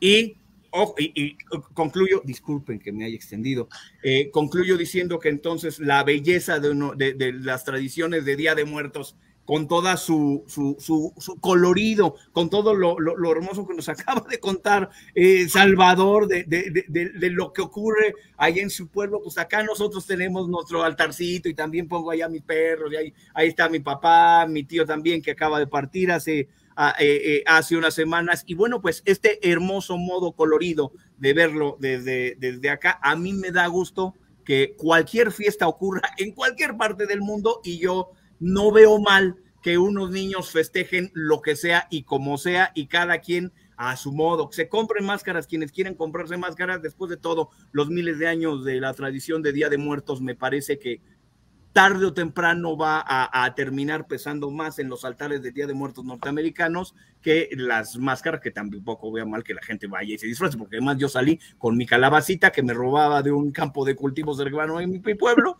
a pedir calaverita. Así es. Oye, y precisamente, y precisamente hablando de la hibridación cultural que nos dice Tony Gutiérrez desde San Luis Potosí, eh, yo quiero platicarles lo que es el Día de Muertos en Chihuahua, o para las culturas originales de Chihuahua. Ustedes saben que en Chihuahua la, la cultura original de la Rarámuri, ¿sí? Y los Rarámuri son conocidos porque realmente la palabra significa pies ligeros. Bueno, pues el Día de Muertos para los Raramuris es una carrera. Órale. Y lo celebran con una carrera, pero ahí les va dónde. O sea, no es una carrera fácil. Es una carrera en donde arriesgan la vida. ¿Sí? Y déjenme les platico. Esta es la Sierra Tarumara. Esta es una parte de la Sierra Tarumara. Y también llamados lo de los pies ligeros o los pies alados, ya que rara morir significa pie corredor. La muerte no es el fin de la existencia, sino un incidente de transición para una vida mejor. Y, y es, eh, realmente cuando yo lo vi es un pueblo que ocupa una cuarta parte del territorio del sureste de Chihuahua, en una de las partes más altas de la Sierra Madre Occidental, conocida también como Sierra Tarahumara. La economía de los primeros grupos étnicos tarahumaras se basaba en la agricultura, la caza y la recolección. Cada grupo tenía su dialecto de la lengua tarahumara. Sus gobernantes eran quienes se encargaban de proteger el territorio contra las etnias vecinas y garantizar el orden interno de la tribu. Esta cultura, con sorprendente tenacidad, Para los tarahumaras, la muerte significa el comienzo de otra vida, en la que van a reunirse con sus antepasados. Pero también creen que un muerto puede regresar a causar daño a sus amigos y familiares. Ellos creen que cuando la muerte se acerca es porque los difuntos están solos y quedan dando compañía. Provocan enfermedades para que sus deudos se reúnan con ellos. Así, cuando un individuo fallece, se dice que se va porque lo han llamado los que se han ido antes. Los muertos continúan dejando su comida. Mara tampoco es un fenómeno natural que forma parte de la vida diaria y comunitaria. La tradición del Día de Muertos entre Saramara tiene varios significados. Sin embargo, todas ellas van centradas a la celebración de la resurrección de los muertos, a través de la representación de danzas donde los hombres visten de diversas maneras.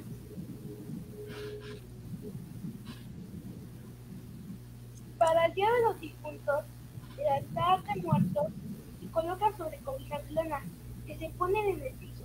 Esta gran ofrenda se pone frente a una sencilla cruz de madera llamada Cruz de los Muertos. También suelen sacrificar una checa con flores y esto se amontona encima de las tortillas, café, ropa y herramientas de los difuntos. Los taramaras consideran que la muerte es una experiencia individual porque al final de cuentas morimos solos. Debemos estar orgullosos de la celebración del México. Es una celebración. ¿Qué les parece? ¿Qué les parece lo que nosotros hacemos acá en Chihuahua? Y, lo que, como, y precisamente por eso es este programa, ¿no? Porque queremos dar todas las, o las poquitas de, nosotros seis, de, de estas tradiciones del Día de Muertos. Pero para mí era muy importante mostrarles el día. Adelante, adelante. Sí, es que ahorita que mencionabas esto de lo de los pies ligeros, hay un cuento, un cuento que escribió Natalia Toledo, la hija de Francisco Toledo, y se llama precisamente así la muerte pies ligeros. Y nos explica el por qué la muerte se le llama así la de los pies ligeros. Rápidamente se los comparto. Dicen que la muerte, eh, la muerte estaba rascándose las costillas debajo de un tamarindo. Ah, ahí estaba la muerte rascándose las costillas de repente había un problema en el mundo, se estaba sobrepoblando. bueno, hay que hacer algo. Mm. Y se le ocurrió a la muerte una idea como solo se le pueden ocurrir las ideas a la muerte, y dijo, ya sé, los voy a poner a brincar a todos. Fue de inmediato por una cuerda y se puso a brincar. Y el primero que se le atravesó fue el hombre. Y entonces se acercó, le coqueteó, el hombre también le echó unos ojitos. Y entre, así como se los cuento, ya estaba brincando con la muerte y estaba brinque y brinque, brinque y brinque, brinque y brinque, y la muerte entonces le dijo, brinca, brinca el hombrecillo burlándose de la muerte con pito de molinillo, se quedó tieso e inerte y murió. Entonces la muerte se dijo que el hombre llevaba unos zapatos, le echó ojo de chícharo, le quitó los zapatos, se los puso y dijo, ahora sí, más mona, más coqueta, más ella, se dirigió caminando a buscar a nuevos, nuevos seres con quien saltar. Y se encontró con el sapo. En un 2x3 el sapo también ya estaba saltando, estaba saltando con la muerte. Brinca sapo saltarín con cachetes de papera, ya conocerás el fin que la muerte nunca espera. Y el sapo cayó muerto. Siguió caminando la muerte y se encontró con el chango. Y el chango también, eso. Y en tanto, en tanto, ya estaba brincando con la muerte. Changuito de la selva oscura, mueve tu cola tiznada, que aunque grites como el cura, te llevará la changada. Y el chango cayó muerto. Después del chango, iba corriendo allá el coyote, iba corriendo el coyote, corre, que te corre, corre, que te corre, corre, que te corre, porque estaba jugando con su compadre el conejo. Eso estaba haciendo cuando retachó con la muerte. Y la muerte, ay, mira, tú solito llegaste aquí, pues ahora vas a saltar conmigo. Y se pone a saltar la muerte con el coyote. Se pone a saltar, salta, salta, salta, que te salte, salte, que te salte, salte, que te salte. Brinca, coyote risueño, tu risa es tu perdición, que aunque yo no soy tu dueño, sí te llevaré al panteón. Y el coyote ¡oh! cayó muerto.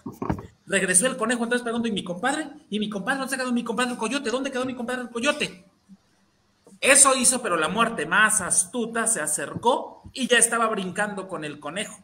Conejo en los cuentos ganas, pero aquí pelarás los dientes. Ya llorarán tus parientes porque a mí me da la gana. Y el conejo cayó muerto. Después del conejo tocó el turno de la iguana y allí estaba también la iguana saltando con la muerte. Iguana, iguana del iguanar que en molito te comiera. Cavas tu tumba al brincar como si volver pudieras y la, y la iguana cayó muerta. Después de la iguana fue el lagarto, y ahí estaba también el lagarto, pero en el primer salto, ese sí, en el primer salto quedó, porque pues, el lagarto cuando iba a saltar, ¿verdad? Así que, lagarto de mil lagunas, novio de la flor del fango, no te vayas con ninguna, come conmigo este mango. Pero yo estaba bien muerto. Y así fueron pasando todos los animales a brincar con la muerte, absolutamente todos. Hasta que, llegó el chapulín. El chapulín, el chapulín siempre anda saltando.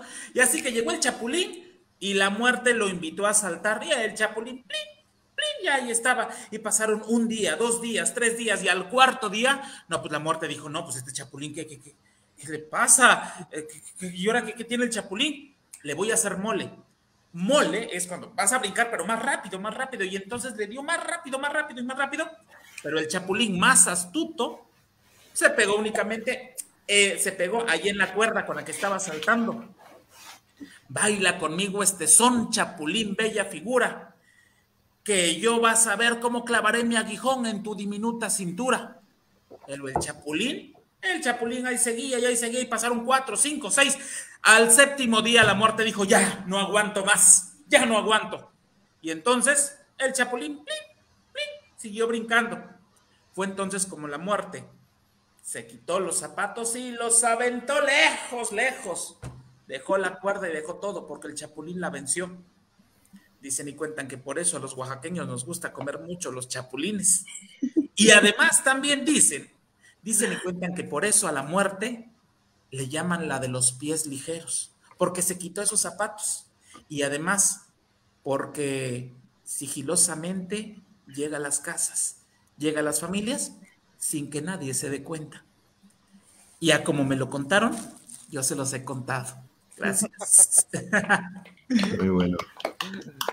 Excelente. Yo creo que, yo creo que esta, este contar y este seguir narrando nuestras tradiciones y nuestros mitos y nuestros cuentos va a mantener totalmente viva nuestra, nuestra cultura. Y la va a renovar, y la va a seguir haciendo, y la va a volver, la va a modernizar a lo mejor, pero se va a mantener, y se va a mantener, y se va a mantener. Entonces, muchas gracias, y bueno, es fantástico, ¿no, Salvador? Gracias, gracias a ustedes. ¿Qué te, qué te parece, Kiko? Desde el otro lado del Atlántico, todo esto que puedes ver acá en México.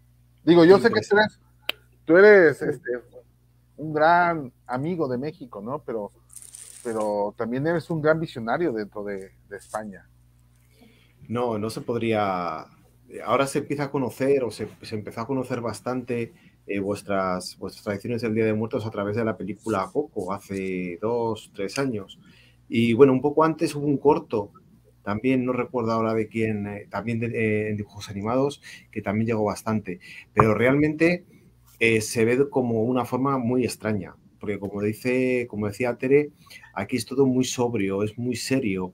Eh, sería una falta de respeto. O sea, nosotros, por ejemplo, cuando hacemos las visitas eh, por los paseos por el cementerio, lo primero que decimos es que hay que estar con respeto, porque se entiende que ese, ese respeto. No quiero decir que lo que hagáis, que me parece estupendo, que además yo, he visto ese color, ese color en los cementerios eh, europeos, ya no solamente españoles, sería algo, no sé cómo decirlo, casi insultante.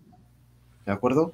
Eh, lo cual no quiere decir para nada que lo que hagáis es una fiesta inmensa y que, y que bueno, que cada uno tiene eh, las tradiciones que ha ido, bueno, aquí decimos que ha ido mamando, ¿no?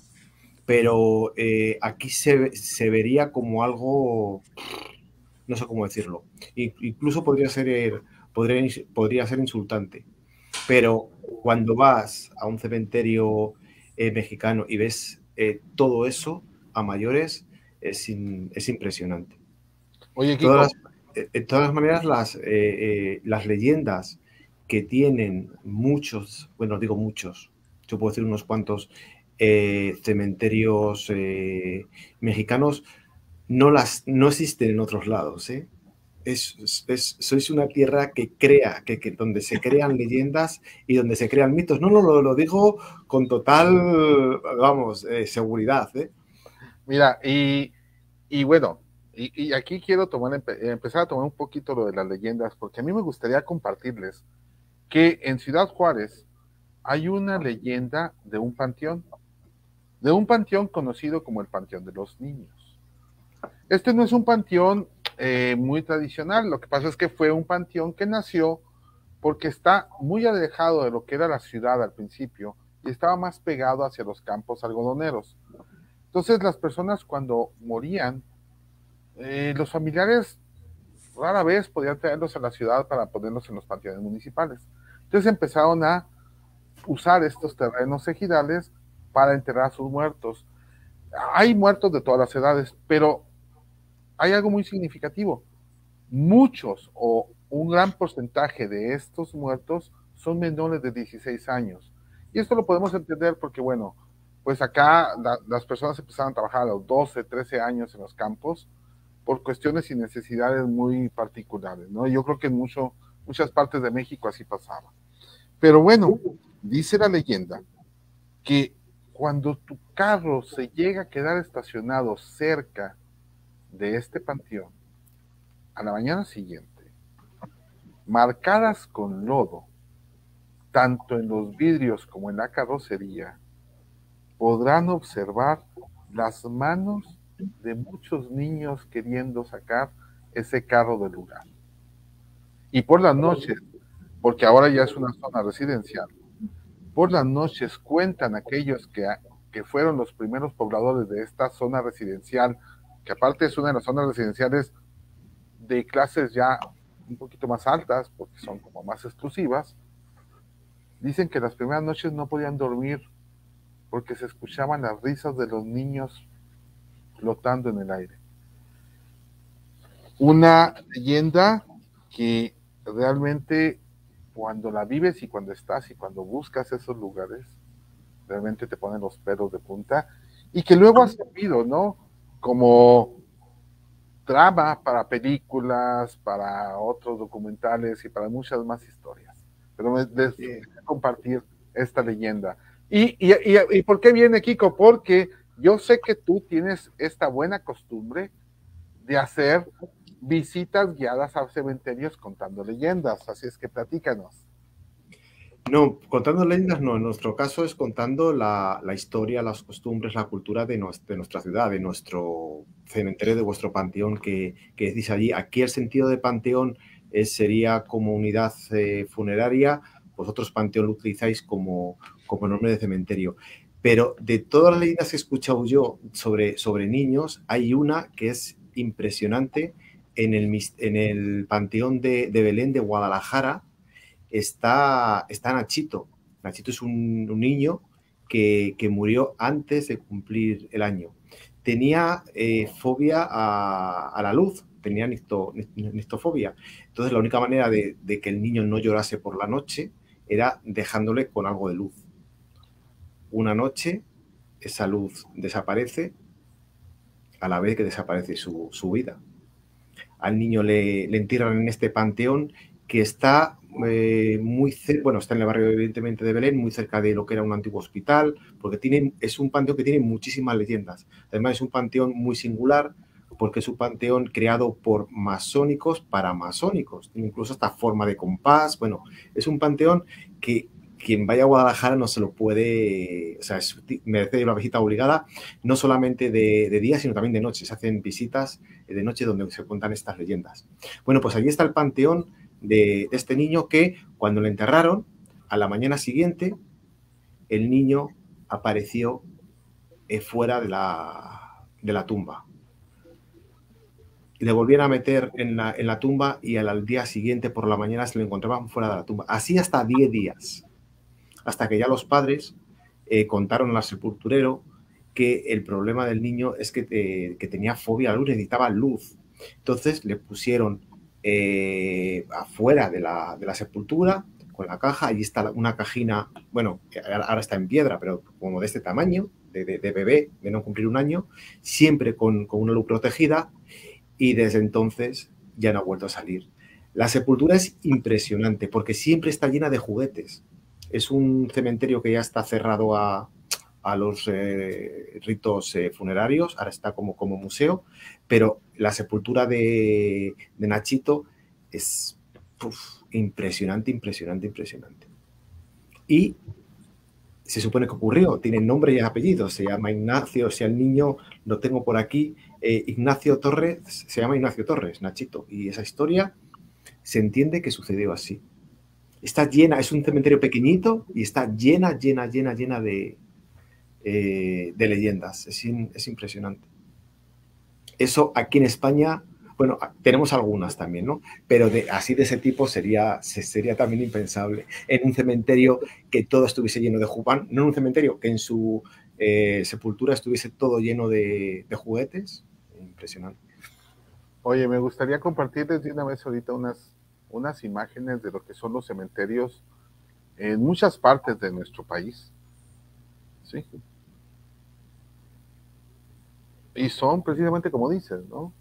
Estos coloridos, estas visitas. Eh, yo me acuerdo mucho cuando, cuando mi madre me llevaba a los cementerios a algún funeral o algo, me decía, ten cuidado, no pises sobre los muertos porque sienten. Y de repente en mi cabeza decía, pues, ¿cómo? Pues está muerto, ¿no? Pero poco a poco fui entendiendo esta situación y me decía, y ten cuidado porque luego el Día de Muertos destapas destapa su salida. Y creo que es fascinante y esta idiosincrasia es fascinante. Aquí están cerrados en España, ¿eh? Bueno, en España, prácticamente en Europa, eh, los cementerios a las 5 o 6 de la tarde se cierran y están cerrados. No se puede, no tienes acceso a ellos.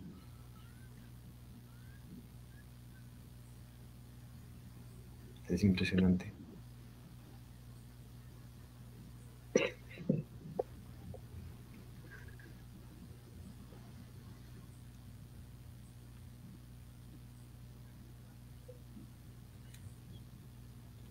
Y así como esa, como la historia de Julieta, creo que hay muchas, ¿no?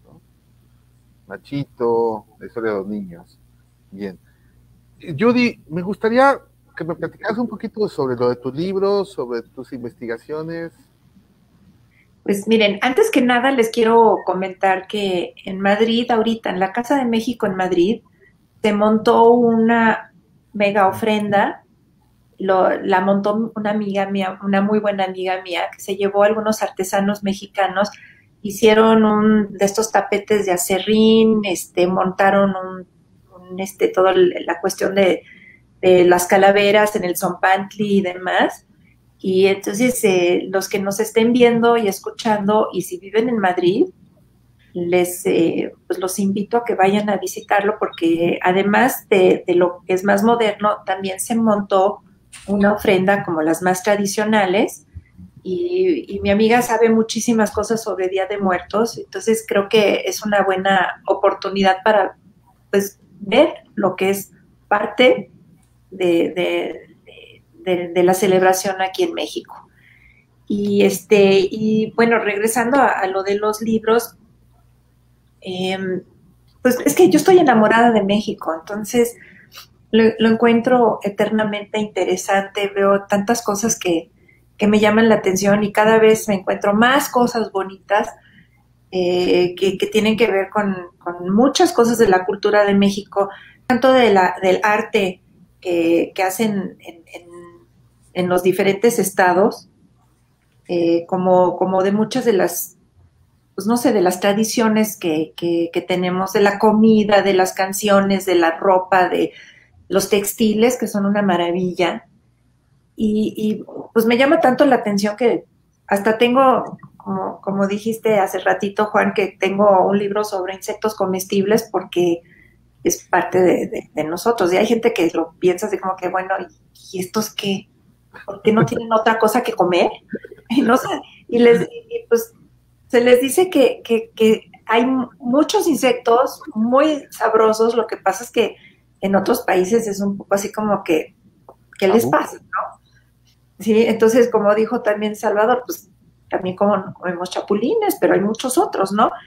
Y estas tradiciones también de comer flores, porque pues comemos flores de, calabacita y, comemos este los cambuches, este, en el norte también ya sea este San Luis Potosí por allí, pues, una vez probé los cambuches y me encantaron. Eh, también he, comido la flor de la yuca, que, es deliciosa, y la flor del colorín que se puede también usar, los pétalos. Los pétalos de cempasúchil fritos. Son riquísimos.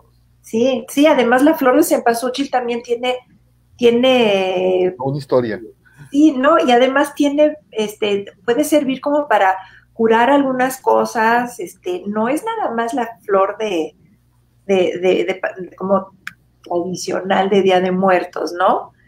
Eh, pero hay, hay tanto que yo, pues mira, yo puedo seguir investigando porque también tengo cuentos que tienen que ver con eh, fantasmas y aparecidos de la época hispana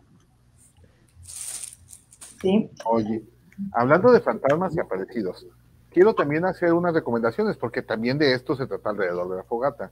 Y yo creo que en estos días estaría muy interesante que Entre Noches y Fantasmas de Francisco Tario sea una de las lecturas que nuestros, las personas que nos ven deberían de acercarse. Creo que aquí hay un cuento de un perro, en la noche del perro, que Medardo, tú y yo somos amantes de, de esos animalitos y este cuento, wow, hace poco lo acabo de leer para una de las transmisiones que hicimos y estuve a punto de terminar llorando porque eh, me duele mucho, ¿no? Me duele mucho que nosotros no, tengamos la misma sensibilidad que estos seres. Pero bueno, eh, Entre Noches y Fantasmas de Francisco Tario, creo que es una lectura que se antoja para estos días. No sé ustedes qué piensen, pero, pero sí se antoja. hablando de lecturas y hablando de fogatas, me gustaría también invitarlos a que veamos un poquito de lo que fue o de lo que fueron las fogatas durante este año. Entonces, quiero mostrarles esto, si me lo, si me lo permiten. Porque esto también es, es una celebración. Estamos celebrando los muertos, pero también estamos celebrando un año de vida. Entonces, imagínense lo paradójico de esto, ¿no? Y que ya habíamos dicho, ya Salvador lo había dicho, ¿no? Es este umbral entre la vida, la muerte, la felicidad, la tristeza, el, el llorar de alegría, pero también el reír de dolor. Todas estas este, situaciones que de repente a lo mejor nomás los mexicanos entendemos. que yo he dicho dicen, ¿qué? ¿Verdad, mi estimado Kiko? doy fe, doy fe. Así es. Entonces, con su permiso, me gustaría mostrarles esto.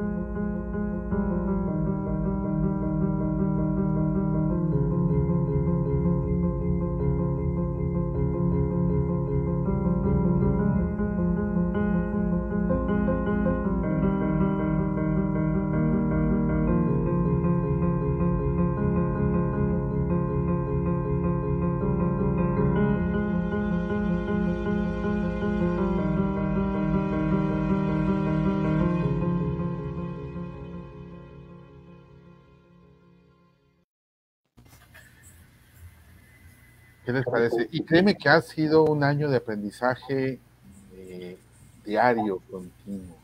Y agradezco mucho a todas las personas y sobre todo a, todas las personas que nos vieron. Sí, hablando de esto, eh, quiero saludar a Carolina Rodríguez, a Claudia Sánchez, a Liliana Beas, a, a, nuestro querido amigo Tony Gutiérrez desde San Luis Potosí. Este, muchos saludos por estarnos viendo. ¿Qué les parece? Un año ya, ¿no? Ya son 13 fogatas con esto. Cabalístico 13.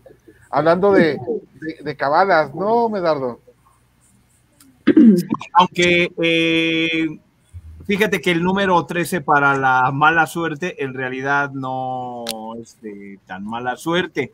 Eh, ocurre que en algún momento de antes de la aplicación del calendario gregoriano, eh, pues en la Edad Media había, los calendarios se basaban todavía más en el paso de las lunas y pues como sabrán ustedes, la luna tarda 28 días, no 30, y entonces al paso del tiempo, de pronto había algunos años que no tenían 12 lunas, sino tenían 13.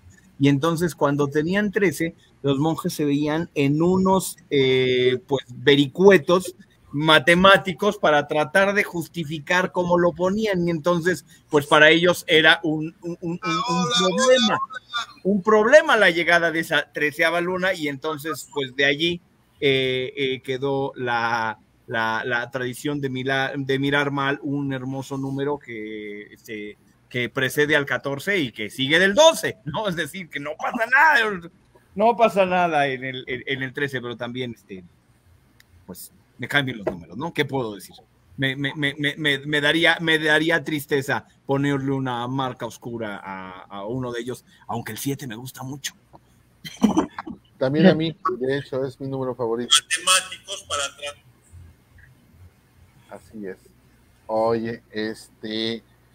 Y bueno, también quiero agradecer, Tere, Tere y Kiko han sido invitados muy, muy, muy, este, asiduos a este, a este programa, ¿no? Entonces, claro que sin ellos, pues no, no podríamos tenerlo. Y miren, desde Tlaxcala, Daniela Escobar, que nos dice saludos y que a ella le encanta que hablemos de estos temas. Saludos, Daniela, es un placer tenerte por acá.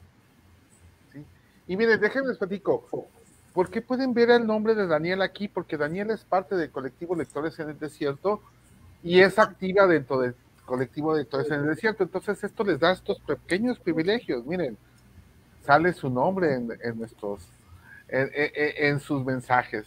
Entonces, véanos, síganos y háganse parte del colectivo Lectores en el Desierto, que créame, creo que con las sugerencias y las ideas de todos ustedes, esto ha ido creciendo. Bien, entonces, hace rato les decía de las leyendas, de los mitos, de Judy que investigaba para hacer sus libros, de cómo es que los libros pueden, pueden este, ayudar a las nuevas generaciones a mantenerse, pero también algo muy importante son los cuentos. Y creo que tenemos el mejor privilegio de contar con un cuentacuentos. Entonces, ¿qué te parece, Salvador? Si te preparas y en un momento dado, sé que llegaste con una invitada.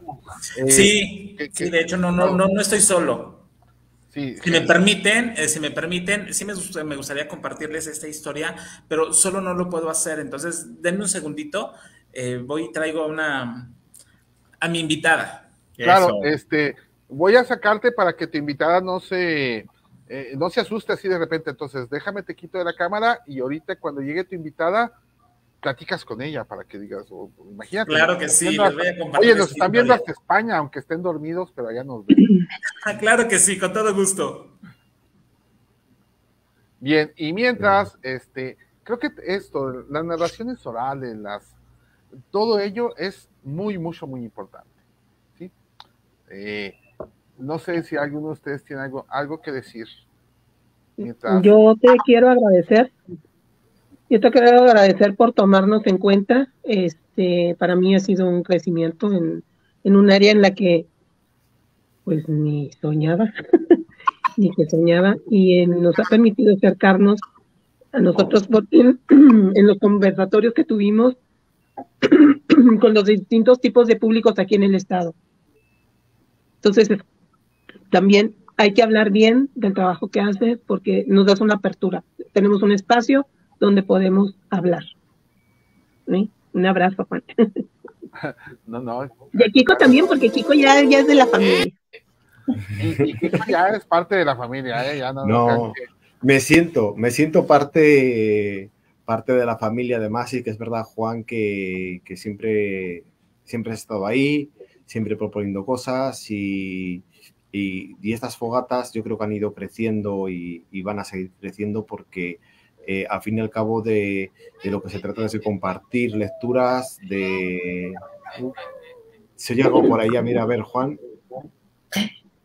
¿Se oye algo? Sí, se oyen ya la brujilla que anda por ahí. ¿Qué pasó? A ver, a ver, espérame, espérame, déjame ver, a ver qué se oyó, porque sí es importante saber qué se está oyendo, ¿eh? eh qué oíste, Kiko? Yo oí como unas risas, me parecieron unas risas. Algo malvadas, ¿eh? ¿Algo malvadas? A ver, espérame entonces, porque se me hace que ya llegó alguien, ¿eh? Salvador, ya estás aquí, ¿cómo estás? Aquí estamos, vengo para compartirles esta historia. Esa historia es de Emilio Lome, eh, que nos la, nos la compartió en su, en su texto Muertos, pero de gusto. Y bueno, pues quiero platicarles acerca de la historia de esta señora, de esta señora, la, señora muerte. La muerte, la calaca, la parca, la catrina, la esqueletuda, la pies ligeros, la pelona, la tilica, la huesuda, como le conozcan. Y ella, ella siempre está conmigo, siempre, todos los días. Jaime Sabines nos regaló y una de sus frases, uno de sus versos donde dice, todos los días la muerte me, dice, me susurra al oído y me dice, vive. Y pues ella viene conmigo.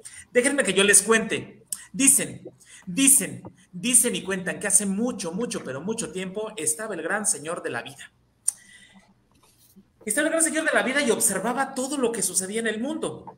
Cómo se pelean unos con otros, que los de acá contra los de acá, que los rojos contra los verdes, los amarillos contra los azules, y que, se peleaban entre familias, eh, que no se cuidaba todo lo que se tenía. Y bueno, entonces tomó una decisión el gran señor de la vida y mandó a traer a la muerte. ¡Muerte! Ven para acá. Y la muerte, ni tarda ni perezosa, de inmediato hizo acto de presencia.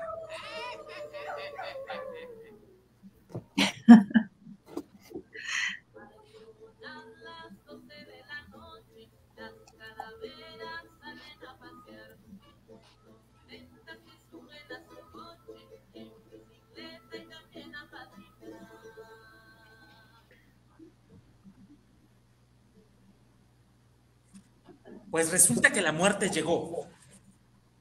Aquí estoy, Señor. ¿En qué te puedo servir? Dime, ¿de qué se trata o qué es lo que hay que hacer? Ay, muerte, muerte. Mira, lo que tienes que hacer es vas a ir a la tierra.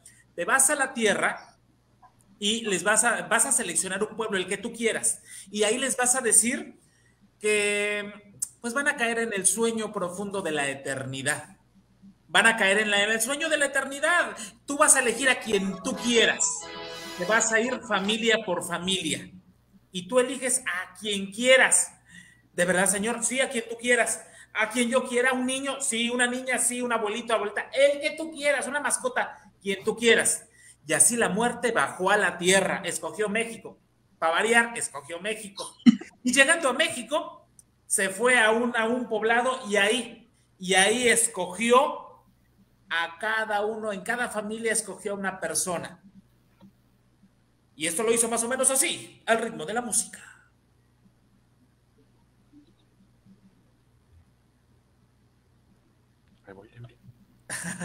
Oye, es que está, te digo que está,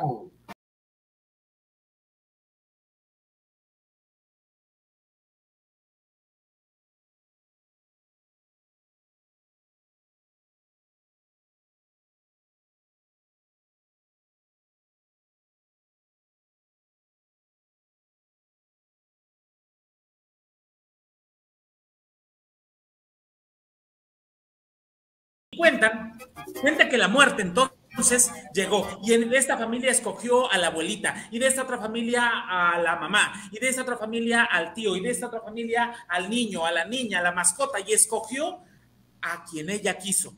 En ese momento les dijo, pongan atención, que tienen solo tres días, tres días para que se despidan, porque los que escogí van a caer en el sueño profundo de la eternidad.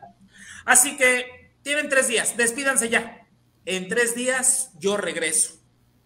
Fue entonces cuando todos, todos se pusieron muy tristes, pero ¿por qué? ¿Pero por qué se va a ir mi abuelita? ¿Por qué se va a ir mi abuelito? ¿Por qué se va a ir mi mascota? ¿Por qué se va a ir mi papá, mi niño? ¿Por qué se va a ir? Y todos se la pasaron muy tristes ese primer día. Estaban llorando. Pero entonces, una abuela, la más anciana y la más sabia, dijo, a ver, un momento, hagamos una cosa. Si son los últimos días que ya vamos a estar aquí conviviendo, ¿Por qué lo vamos a hacer así en tristeza? No, señores, no, no, no, no, no. Hagamos, hagamos una fiesta, pongamos adornos de colores, vivamos, vivamos estos últimos días. Así entonces, alguien dijo, oigan, pues yo, yo voy a poner adornos, yo voy a poner adornos de muchos colores. Ah, pues yo entonces yo traigo comida, yo voy a hacer comida, mucha comida para compartir con todos. Yo voy a traer música. Ah, pues entonces yo traigo tequila, mezcal, pulque, yo traigo de todo para ponernos más contentos. Pues yo voy a poner cohetes. No, pues yo, pues, pues yo voy a traer pan, yo voy a traer chocolate. Y así entonces, entre todos, ese día en el segundo día trajeron mucha comida, hubo mucha fiesta, hubo mucha música y empezaron a compartir unos con otros y se compartían pan y los tamales y la comida, ya había mole, ya había una gran fiesta.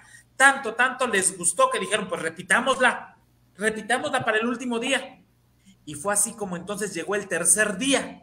Y al tercer día estaban, pero ya todos bien felices y contentos, disfrutando.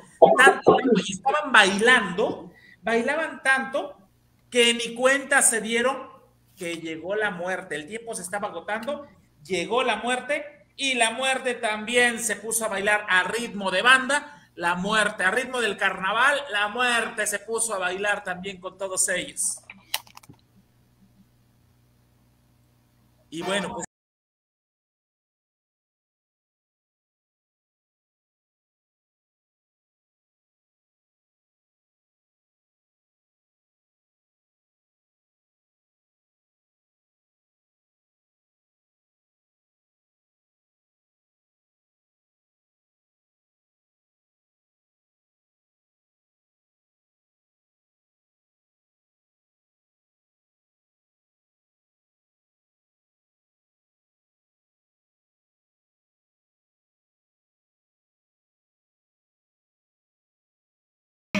tanta fiesta.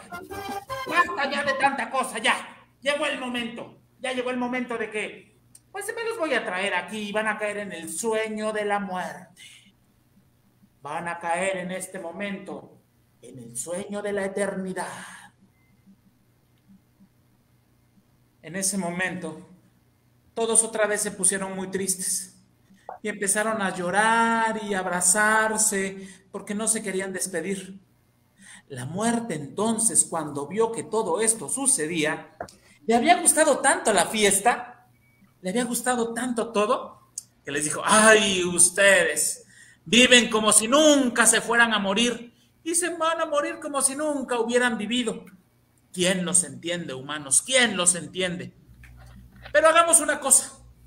Me gustó esta fiesta, me gustó esto que hicieron entre ustedes. Así que les propongo una cosa.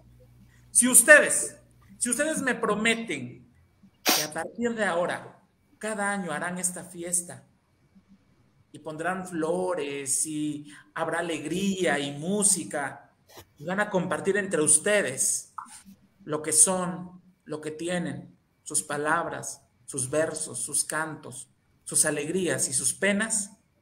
Si ustedes me prometen que hacen eso, yo, la muerte, me comprometo a que voy a mandarles de regreso a sus familiares. No, probablemente físicamente no los van a ver, pero van a sentir su presencia en las flores, en el viento, en los recuerdos, en las carcajadas, en esas miradas de alegría. Ahí, ahí los van a encontrar. Dicen y cuentan que en ese momento todos dijeron, sí, sí, señora muerte, sí, así lo vamos a hacer. Por eso cuentan y dicen, dicen y cuentan que esa es la razón por la cual nosotros celebramos los días de muertos, que no son las fiestas de la muerte, sino son las fiestas de la vida, para celebrar a los que siguen viviendo, aunque físicamente ya no estén con nosotros, pero que ya no están, pero que siguen viviendo en nuestros recuerdos y en nuestro corazón. Muchas gracias.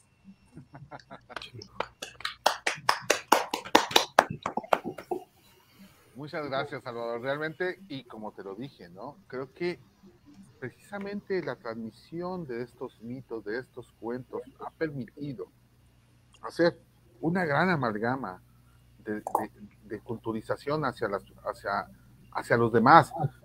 A mí no me preocupa Oaxaca porque Oaxaca sé que lo trae y como dijo por ahí Kiko, no, lo maman desde chiquito, pero llevar esto fuera a otras partes, usar estas plataformas para que lleguen a otros puntos, eso es lo importante y eso es lo interesante. aquí, algo, perdón, aquí algo muy importante es preservar nuestra, preservar nuestra tradición oral, esto que nos contaron, eso que nos contaron, porque se, eh, muchas de estas historias siguen, siguen vigentes, siguen vivas, porque se siguen contando. Hay muchas historias que no han sido escritas, pero se siguen, siguen viviendo porque se han contado y se pasan de generación en generación. Yo decía, son, eh, son historias que pasan de boca a oreja y de oreja a boca. De eso que yo escuché, también te lo cuento y también te lo cuento. He ahí la importancia de, bueno, yo desde mi punto de vista, la importancia de, de la narración oral y de contarnos, de contarnos la vida, de contarnos eso que pasa con nosotros para que no se pierda. Eh, probablemente les digo, hay, hay historias que no han sido escritas, pero siguen existiendo porque se siguen contando. Entonces, para mí, contemos y contemos y contemos para que no se pierda. Contemos la historia, la historia de la abuela que llegó de tal pueblo y que llegó y que pasó eso y en tal pueblo se encontró al abuelo y pasó y así. Esa es mi historia. Sigámosla contando. Sigamos contando la historia de cómo llegué yo aquí. Sigamos contándonos entre nosotros, porque en cada, en cada historia ahí vamos nosotros. En cada palabra que decimos, allá vamos nosotros y allá va nuestro corazón y seguiremos viviendo por las palabras, por las historias. Wow, muchas gracias. Y hablando de historias, Tere, por ahí me dijeron que tienes tú una historia que platicarnos. Tengo una historia, tengo una leyenda de, de aquí de Delicias. Delicias es una ciudad muy joven, tiene apenas, ¿qué será? No tiene ni los 80 años de fundada. Entonces, la leyenda a la que me remito fue hace, de hace, ¿qué será? En el siglo pasado, en los años 40, 30, dicen, dicen, porque yo todavía no nací, que había una catequista que iba a impartir su doctrina a, un templo que está aquí en el centro.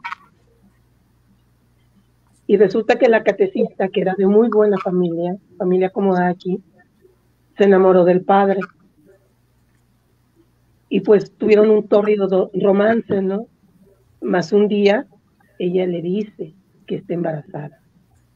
Y entonces, oh, Dios mío, que tengo que hacer un viaje a Roma. Que discúlpame. Y se pela, se va a Roma, o sabrá Dios a dónde. El caso es que la muchacha queda sola ante una sociedad, pues, que veía con muy malos ojos a una madre soltera. ¿Qué es lo que hace? Yo vivo a dos cuadras del panteón y a dos cuadras de donde pasó lo que les voy a contar. Una noche agarró un bote de gasolina y aquí a dos cuadras de mi casa hay unos solares todavía, ya son las ruinas de esas bodegas. Se bañó en gasolina y se prendió fuego. Pudo más, según ella, su pecado, que para mí no era pecado. Y entonces dicen, porque a mí no me consta y porque no lo he visto, que por las noches, aquí en la calle que pasa por la esquina de mi casa, las casas que están enfrente del panteón se ven marcadas por unas manos llenas de carbón. Esa es la leyenda de Delicia. Se llama La Quemada. La Quemada, wow. Interesante, ¿no? Bueno, antes también quiero, quiero agradecer a Porfirio Morales, Luis Fernando Gómez Cota, que nos están viendo desde, a Pedro Ángel, que nos están viendo desde otras partes, desde otros colectivos de de, de, mediadores en el país. Entonces, esto es algo muy importante porque, créanme, el esfuerzo que el colectivo Lectores en el Desierto está haciendo es unir a los mediadores, ser un puente eh, y una plataforma para que los mediadores estemos compartiendo lo que la pandemia nos quitó, ¿eh? porque bien, decíamos hace rato, Salvador bien decía, eh, eh, el confinamiento nos evitó el, el estar juntos, pero la tecnología nos unió. Y creo que debemos de mantener esta unión, ¿no? Vean, Kiko está aquí, desvelado y todo, pero está voy a aprovechar, voy a aprovechar para, para contaros no una leyenda, sino unos hechos que ocurrieron y que yo he vivido. claro, adelante. En un, en un, eh, yo vivo cerca de un, cerca del cementerio de, de mi ciudad. Valladolid tiene como 400.000 habitantes, es una ciudad más o menos pequeña, más, bien pequeña que, grande para las ciudades que en México es una ciudad una pequeña. Al lado del cementerio eh, hay, una, hay una ermita, hay una iglesia y hay una esplanada pues, bastante grande que puede caber 3.000, 4.000, 5.000 personas. Es un espacio eh, bastante grande. Y es un espacio muy oscuro siempre ha sido oscuro, ahora hay más luz, donde las parejas pues iban a, intimar desde siempre. Bueno, pues allá por el año 77, 1977, eh, tres, cuatro parejas que estaban allí una, una, noche, en un día de septiembre, fueron al barrio a, decirnos a los que estábamos allí que se oía respirar, que se habían asustado porque en el Carmen, que es la, la zona, se oía respirar y se oía respirar muy alto. Bueno, esto se convirtió en, se fue corriendo la voz eh, y llegaban a ir hasta, yo creo que hasta 5.000 personas a escuchar, a escuchar respirar. Y había como tres teorías, ¿de acuerdo? Una era que eh, hacía dos, tres días eh, habían encontrado muerto en el, en el, en el río, en el Pisuerga, en el río que pasa por, por aquí, por, por Valladolid, habían encontrado un hombre de, raza negra, cuando en Valladolid no, no, no, habíamos visto nunca un, negro. Valladolid es una ciudad muy pequeña, somos todos blancos y nunca habíamos visto a nadie de raza negra. Entonces, el, el, cadáver estaba en el depósito de cadáveres que estaba entre el cementerio y la iglesia y decían que si era el negro el que respiraba. Entonces la gente decía por las noches, vamos a oír escuchar al negro, pero no el barrio que es pequeño, y venían de todo Valladolid. Eh, había otra teoría que decía que eran eh, el cura de la iglesia que tenía la casita al lado de la iglesia, que no quería que las parejas fuesen allí a intimar, eh, que si era el cura el que ponía sonidos, ponía megafonía. Y luego eh, había otra tercera teoría que fue la que se impuso y la que consiguió que dejase de ir avalanchas de gente a oír, escuchar, respirar, que era que eran lechuzas, que en periodo de cría, que hacen un ruido muy similar a la respiración y demás. Yo solo viví con siete años. Entonces, eh, aclarando un poco qué podía haber sido, qué no podía haber sido, lo que está claro es que se oía. Y si oía, eh, no os hacéis una idea. Imaginaros 2.000, 3.000 personas en un espacio abierto, se oía una respiración muy profunda, muy fuerte y como eh, penosa, apenada. O sea, eso hay que imaginárselo para, para oírlo. ¿De acuerdo? Yo soy de ciencias, entiendo que un negro, un blanco, un amarillo, eh, vengas de donde vengas, si te mueres, dejas de respirar. Un negro no puede ser. La megafonía tampoco. De hecho, el cura murió a los tres meses del disgusto. Eso también está. Eh, se, puede, no, no, se puede constatar, os lo digo en serio, porque se le tiraban piedras los chicos para que dejasen de, de, de hacer ese ruido, que supone que era ruido. Eh, las, los medios oficiales, salió en prensa, esto está recogido en prensa y demás, ¿eh? Eh, dijeron que eran, las, que eran lechuzas y que eso en 15 días iba a acabar con la cría de las lechuzas. Y dejó de ir la gente porque oficialmente los medios de comunicación salió que eran lechuzas. Es mentira, no se acabó. Duró por lo menos como cuatro o cinco meses más, porque los que vivíamos allí cerca seguíamos yendo, oír, respirar nosotros decíamos oír respirar, no decíamos ni negro, ni lechuzas, ni, ni nada. Y estuvo como cuatro o cinco meses. Eh, las lechuzas no son, porque ahora, por ejemplo, que ya se puede, ah, por entonces no había internet, estamos hablando del año 77. Eh, no había internet, no había nada, pero ahora que puedes escuchar cómo pueden, cómo, cómo son las crías o el ruido que hacen las lechuzas, los búhos por las noches, tampoco era. Entonces, no era ninguna de las, esas tres cosas, seguro, pero que se oía respirar de una forma que daba, daba miedo, yo lo puedo garantizar porque yo eso lo viví, pero yo y 5.000, 10.000, yo no sé las personas que pudieron ir durante un mes por las noches a oír respirar. Todo esto que os he contado es cierto. Hasta lo del cura que se muere a los tres meses, también es cierto. Impresionante, impresionante.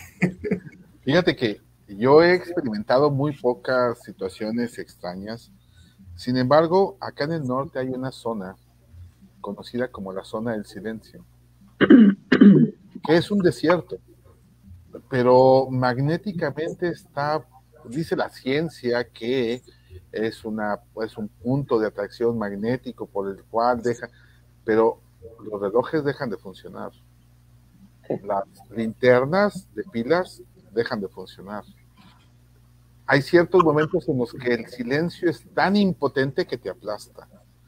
Eh, realmente yo, cuando en mi juventud tuve la osadía de ir a pasar una noche ahí, que según nosotros íbamos a ir a dormir, yo creo que nadie durmió, de los 20 que fuimos, nadie durmió porque el silencio era tan aplastante que, que decías tú, es que no puede ser. O sea, esto no Pocas veces dices tú, el silencio es confortable y esto, pero no. A veces es tan apabullante que aquellos que han estado en esta zona lo pueden constatar. No sé si alguno de ustedes ha osado estar en la zona del silencio, pero es impresionante que no se escuche nada. Y más ante una sociedad que, que se escucha de todo y a cada rato. Entonces, son pocas las experiencias que yo he tenido de esa, de esa manera. No sé, tú, Judy, ¿has tenido alguna experiencia de este tipo? No, pero me estaba yo acordando de, que cuando era chica había unas, este, unos, unos, unas historietas que se llamaban Hermelinda Linda, no sé si se acuerdan. Y yo los leía a escondidas y me, asustaba muchísimo, porque, y me acuerdo perfecto que había una historia de un, una mujer casada con un hombre que la estaba engañando, entonces fue con Hermelinda y le vendió una crema y se lo dio a la, al, no sé cómo le llamó al amante, pero se lo puso y ella, la, la mujer, la amante desapareció y lo único que quedó fue la mano. Entonces la mano andaba caminando por todos lados y yo no, yo no dormía porque yo, yo sentía que ahí iba a llegar la mano a mi cuarto, entonces me iba yo al cuarto de mis papás, ya sabes, no puedo dormir, me puedo dormir con ustedes, entonces creo que me pasé como dos semanas durmiendo con mis papás, mis papás no estaban muy felices, este, hasta que, porque no solo los cuentos de Melinda Linda me asustaban, pero otras cosas también. Eh, pero me acuerdo perfecto y después me acuerdo todavía de, lo, de, esos cómics y digo, ¿cómo es posible que, los leía yo? Porque yo leía al pato Donald y a la pequeña Lulu y a Archie y, esos. pero también debes de haber leído El caballo del diablo. No recuerdo haber leído. Había uno que se llamaba El caballo del diablo y estaba muy bueno. Pero eso era acá en el norte, ¿no? ¿Eh? Yo me acuerdo que eso era acá en el norte. Ah. No, no, bueno, no, bueno, a lo mejor sí, porque yo recuerdo a mis primos ahí en Saltillo. Ajá. Pero las editoriales eran del centro. En el norte no se producía eso, eran de centro. Cierto, sí, cierto. Mira. No sé, no, no recuerdo haber leído ese. Pero sí había, había muchas muy, muy padres y de miedo. Así ahorita que está diciendo Judith. Yo recuerdo, yo recuerdo mucho, bueno, voy a hacer una comparación ahorita. Las películas ahorita de miedo son sangrientas, con asesinos, con... Pero yo recuerdo mucho una película mexicana que se llama La, la tumba de piedra. El libro de piedra. Libro de piedra. El libro de piedra, gracias Salvador. Que para mí es la película de thriller más intensa que yo he visto. A lo mejor porque se trataba de niñas o de niños. Y posteriormente. la del colegio, ¿no? No, era de un niño. De una niña que, de una estatua que había en un, no es esa. Hay una que, que hasta el viento tiene miedo, pero yo estoy hablando de la de los 50, no sé qué año sería, pero era blanco y negro. A mí esa fue la que me dio miedo.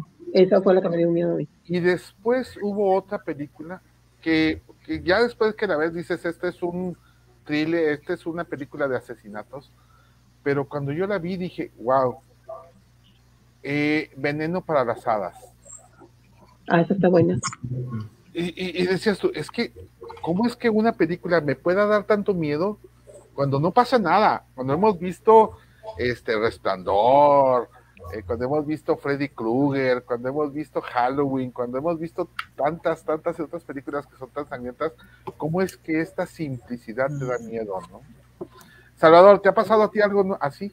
Bueno, del cine, yo era niño y bueno, en aquel entonces no teníamos para, así, no, no, no, no, no había todo lo que hay ahorita.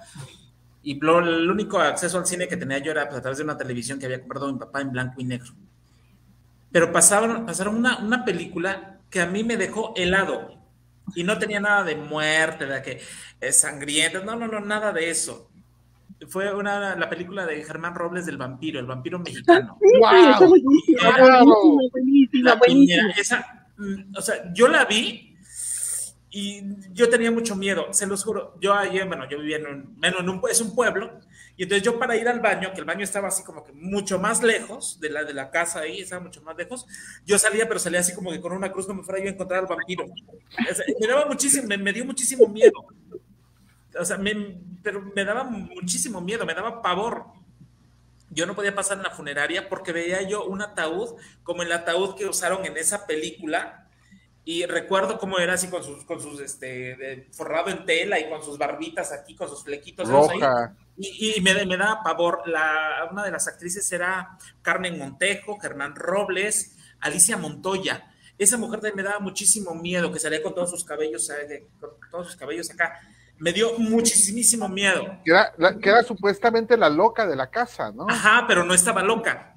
y, en el, y, en el, escapulario, en el escapulario, ahí tenía, me acuerdo perfectamente de la película, en el escapulario, ahí dejé un recadito que cuando iban, eh, cuando los, eh, los sirvientes le quitaron ese escapulario antes de meterla ya a la cripta, este, ahí decía, ah, rescátenme por favor, porque este, yo estoy viva. Y ya fueron y la rescataron y... Bueno, yo después, ya, ya cuando llegó eso al internet, en ocasión, pero esa, esa, película se me quedó, o sea, se me, se me quedó. Y ya después en el internet encontré un fragmento, dije, esta es la película que de niño yo veía y me daba muchísimo miedo. Yo la quiero. Dije, voy a buscarla, voy a buscarla hasta que la encontré.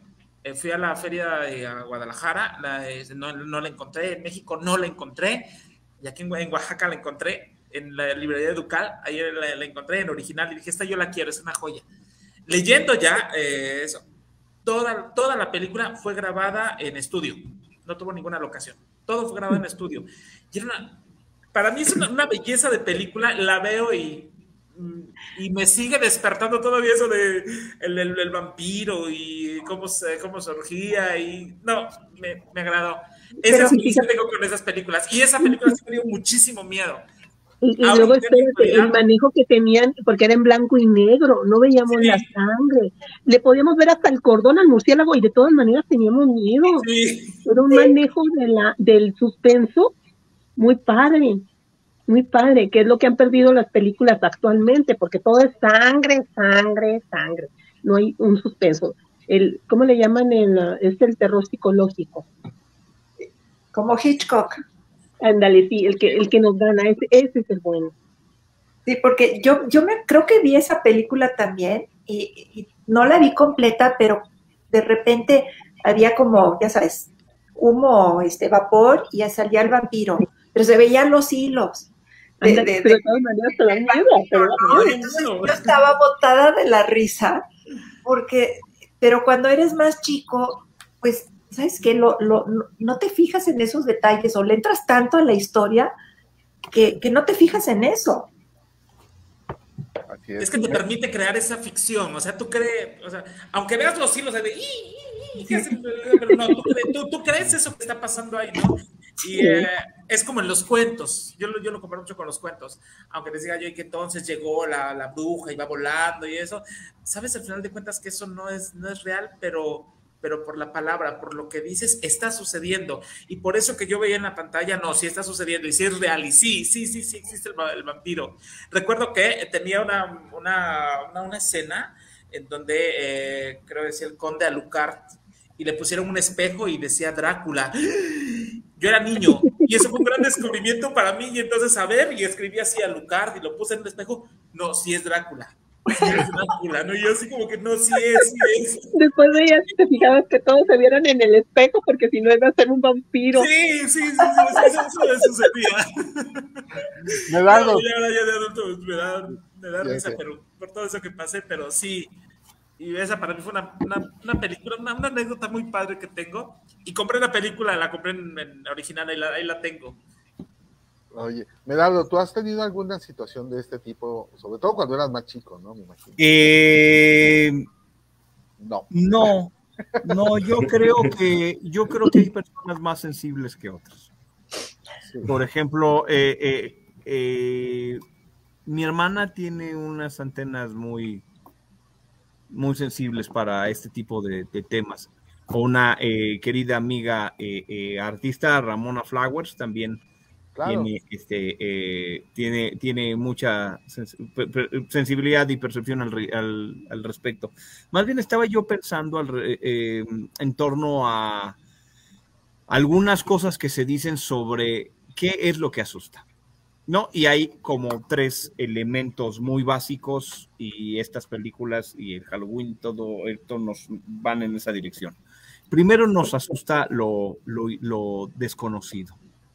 Es decir, cuando estamos en la noche y de pronto los gatos en brama que maullan como si fuera un bebé perdido en la noche.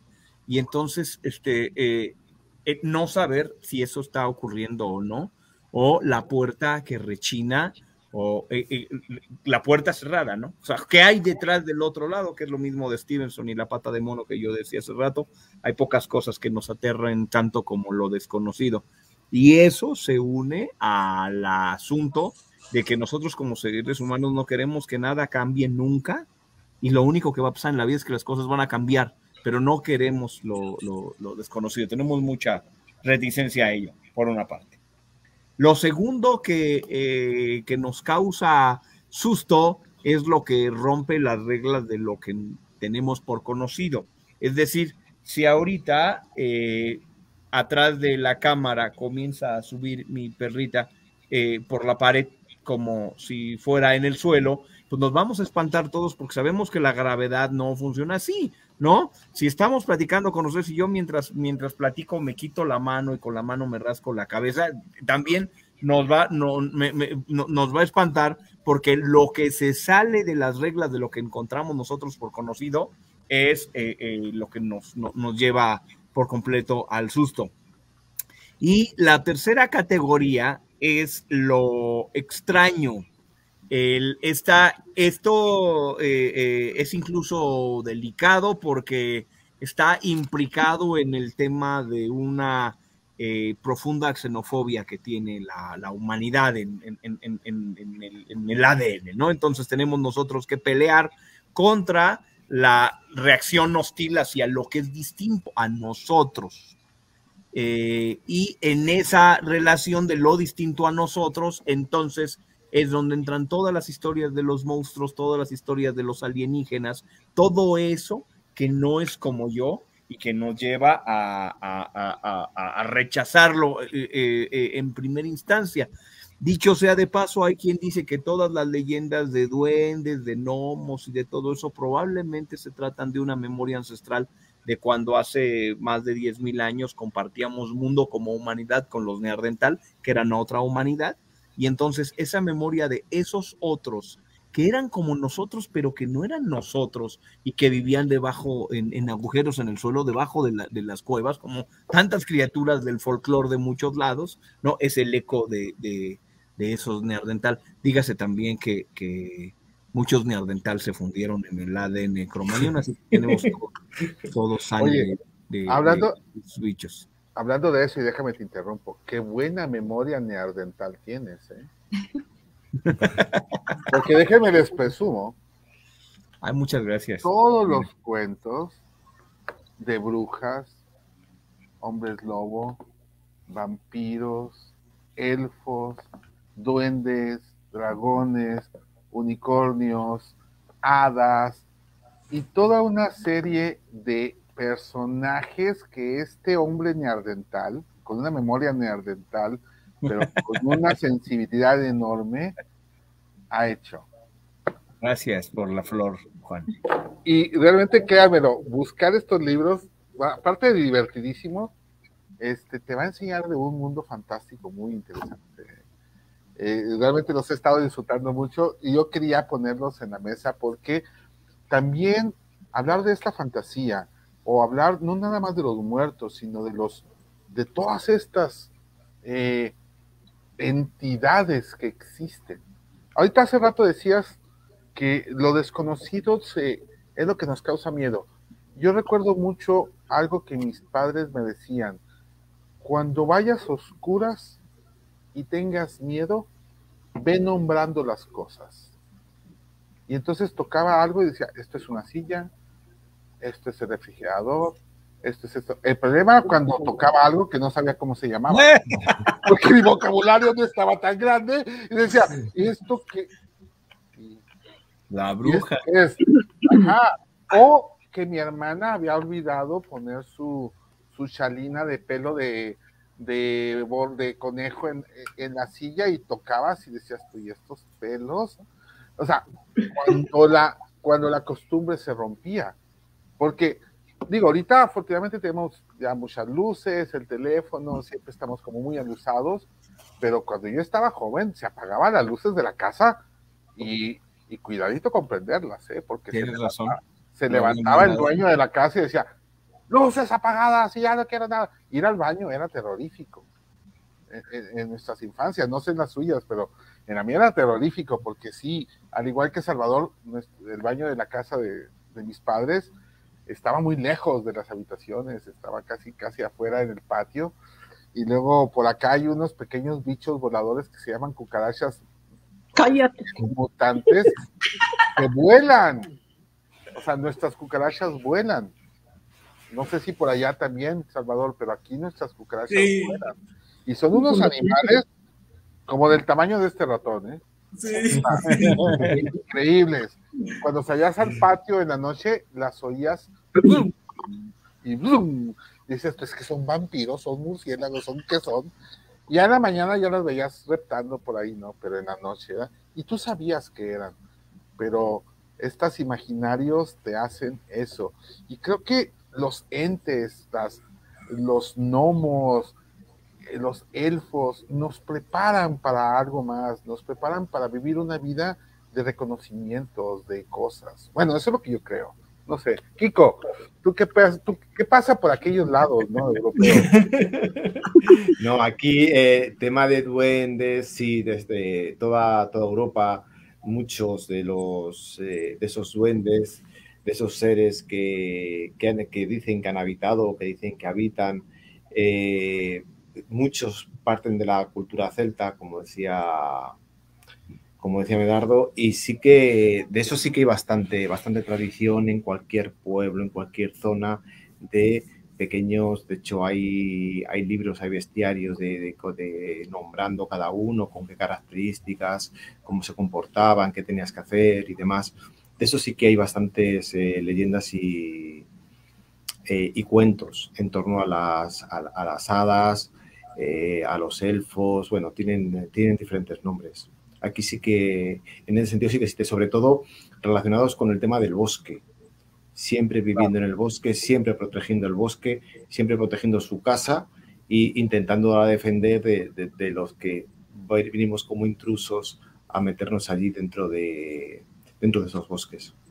Oye, hablando de bosques, aquí en Chihuahua, ahorita ustedes lo vieron en el, pequeño cortito que le di, los, los bosques son impresionantes y, y, realmente, ahorita me estoy acordando, ahorita que dijiste, porque a mí me gustaba mucho escalar y mucho ir a estos lados.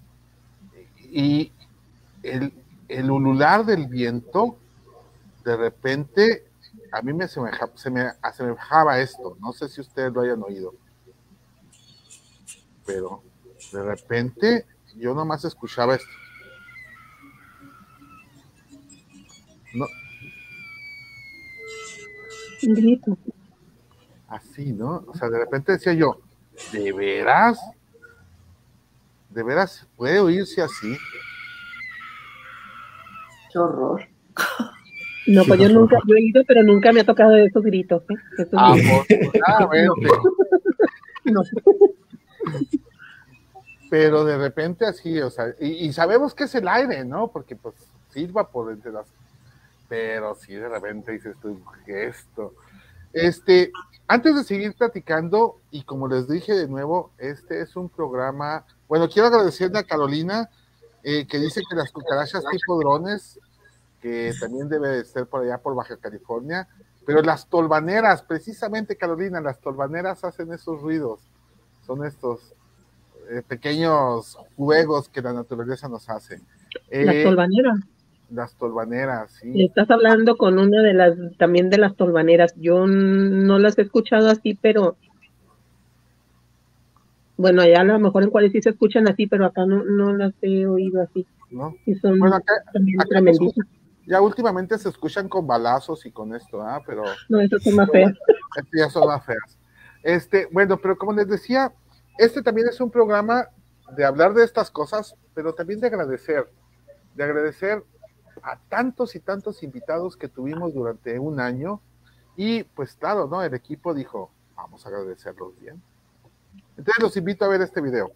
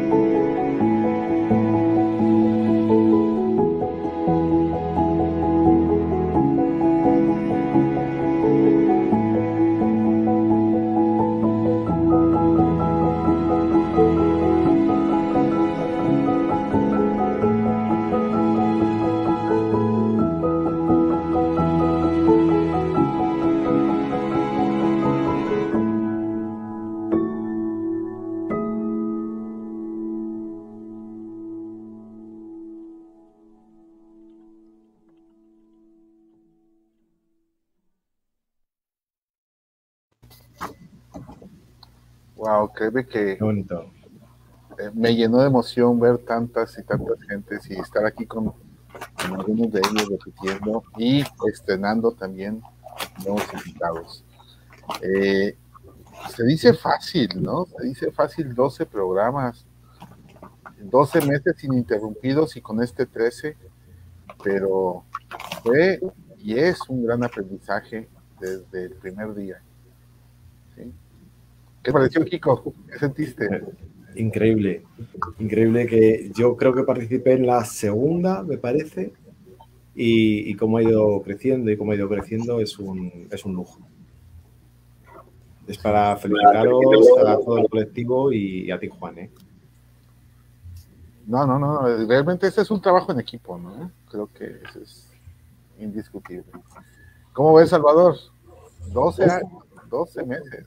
Bueno, eh, genial. Es, es esta parte que nos dejó la pandemia también, que, eh, bueno, ahora se puede, podemos hacer buscamos otra alternativa, buscamos una alternativa y es esto, no podemos reunirnos, que a lo mejor físicamente no lo podemos hacer, pero presencialmente nos enlazamos con este, hasta España, con Judy, con este, con Medardo y probablemente no, con, con Tere, que probablemente no nos podemos ver así físicamente, pero estamos en línea, entonces, eh, y nos, nos, nos pudimos juntar, entonces es, es maravilloso y lo que yo considero es que ah, siempre, siempre hay una, siempre hay una esperanza, siempre hay una esperanza ante todo, hay algo que se puede hacer, siempre hay una alternativa, hay algo que se puede hacer, ¿no? Entonces, eh, pues nada, que me, agrada mucho y bueno, gracias por la, por la invitación. No, y bueno, como, como, como dice esa canción, quien dice que todo está perdido, yo vengo a ofrecer mi corazón.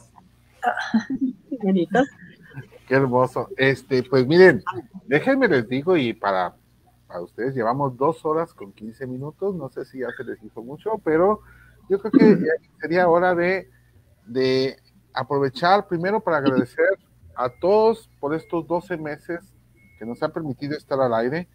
Eh, me gustaría hacer un brindis con todas estas personas que nos acompañaron. ¿sí? Eh, Creo que por ahí todos tienen su, tacita de café. Yo, como dicen que para todo mal, mezcal, pero para todo bien, también. Para que sea litro y medio, litro y medio. Así es. y salud.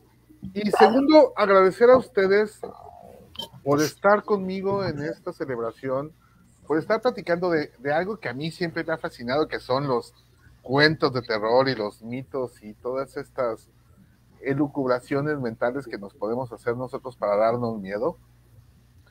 Y pues nada, me gustaría ver si, si le seguimos o vamos cerrando un poquito. A lo mejor vamos cerrando, ¿no? Porque Kiko también son las 4 de la mañana, ¿no? Allá.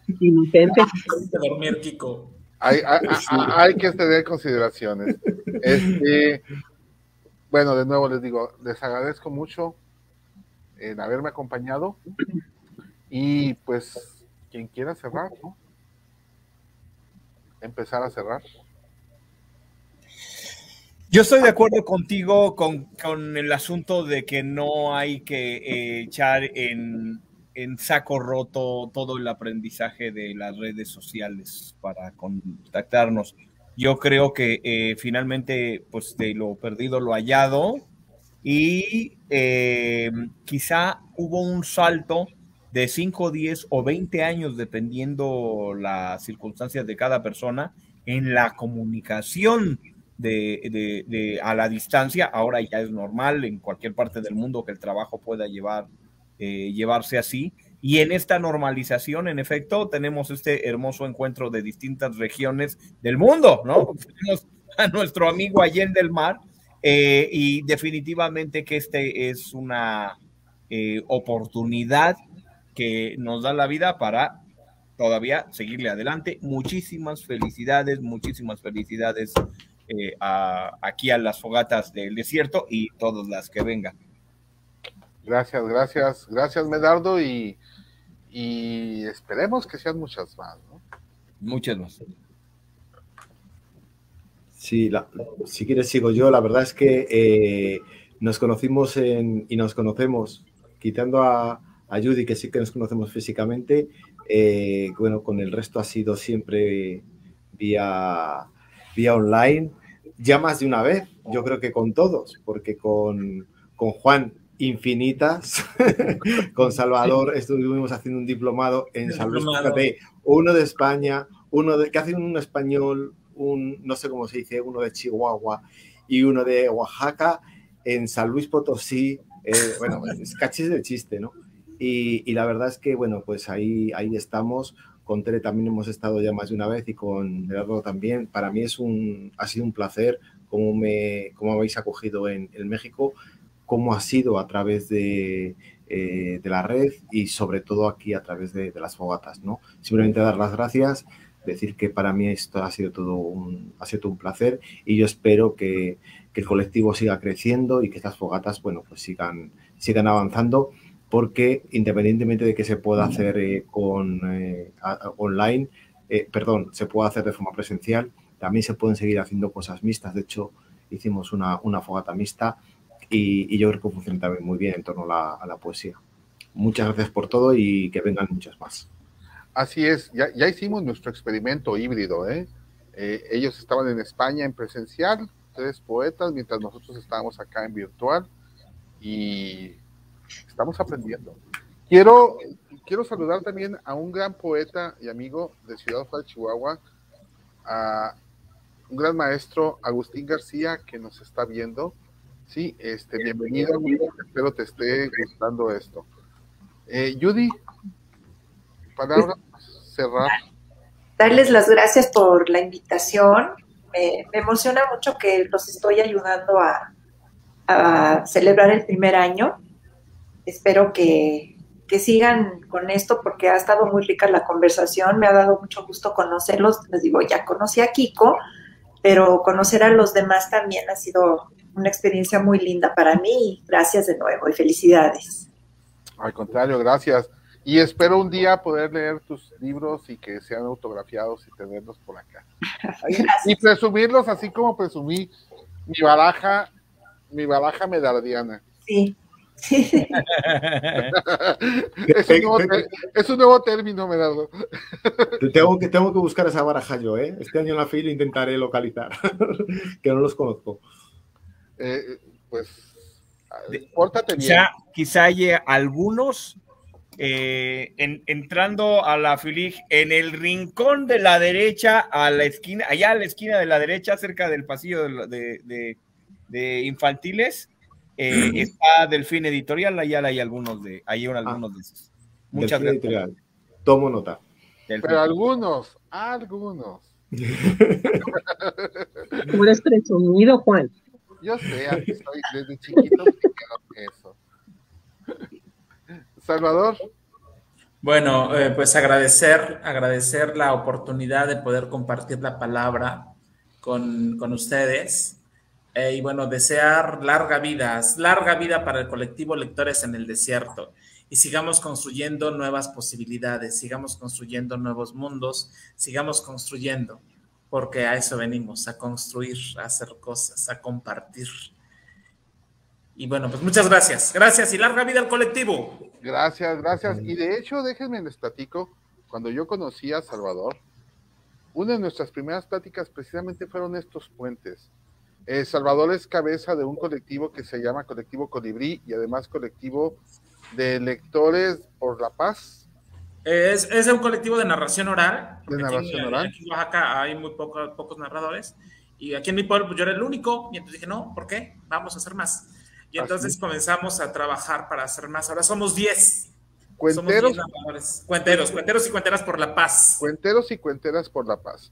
Sí. Y y yo desde un principio le había dicho, es que tenemos que hacer estas ligas, tenemos que hacer estos enlaces, que, que en Chihuahua conozcan lo de Oaxaca, que Oaxaca conozcan lo de Chihuahua, que en España conozcan lo de Oaxaca y Chihuahua juntos, que, porque en el colectivo hay gente desde Argentina, eh, Gisela que está en, en, Nicaragua, es decir, hay muchas personas que ya nos están estado ahí siguiendo, entonces es muy interesante, si unimos colectivos, si unimos esfuerzos, creo que vamos a llegar mucho más. mucho más allá, precisamente, ¿no? Haciendo estos puentes. Sí. Dice, que solos, eh, solos llegamos más rápido, pero en colectivo llegamos más lejos.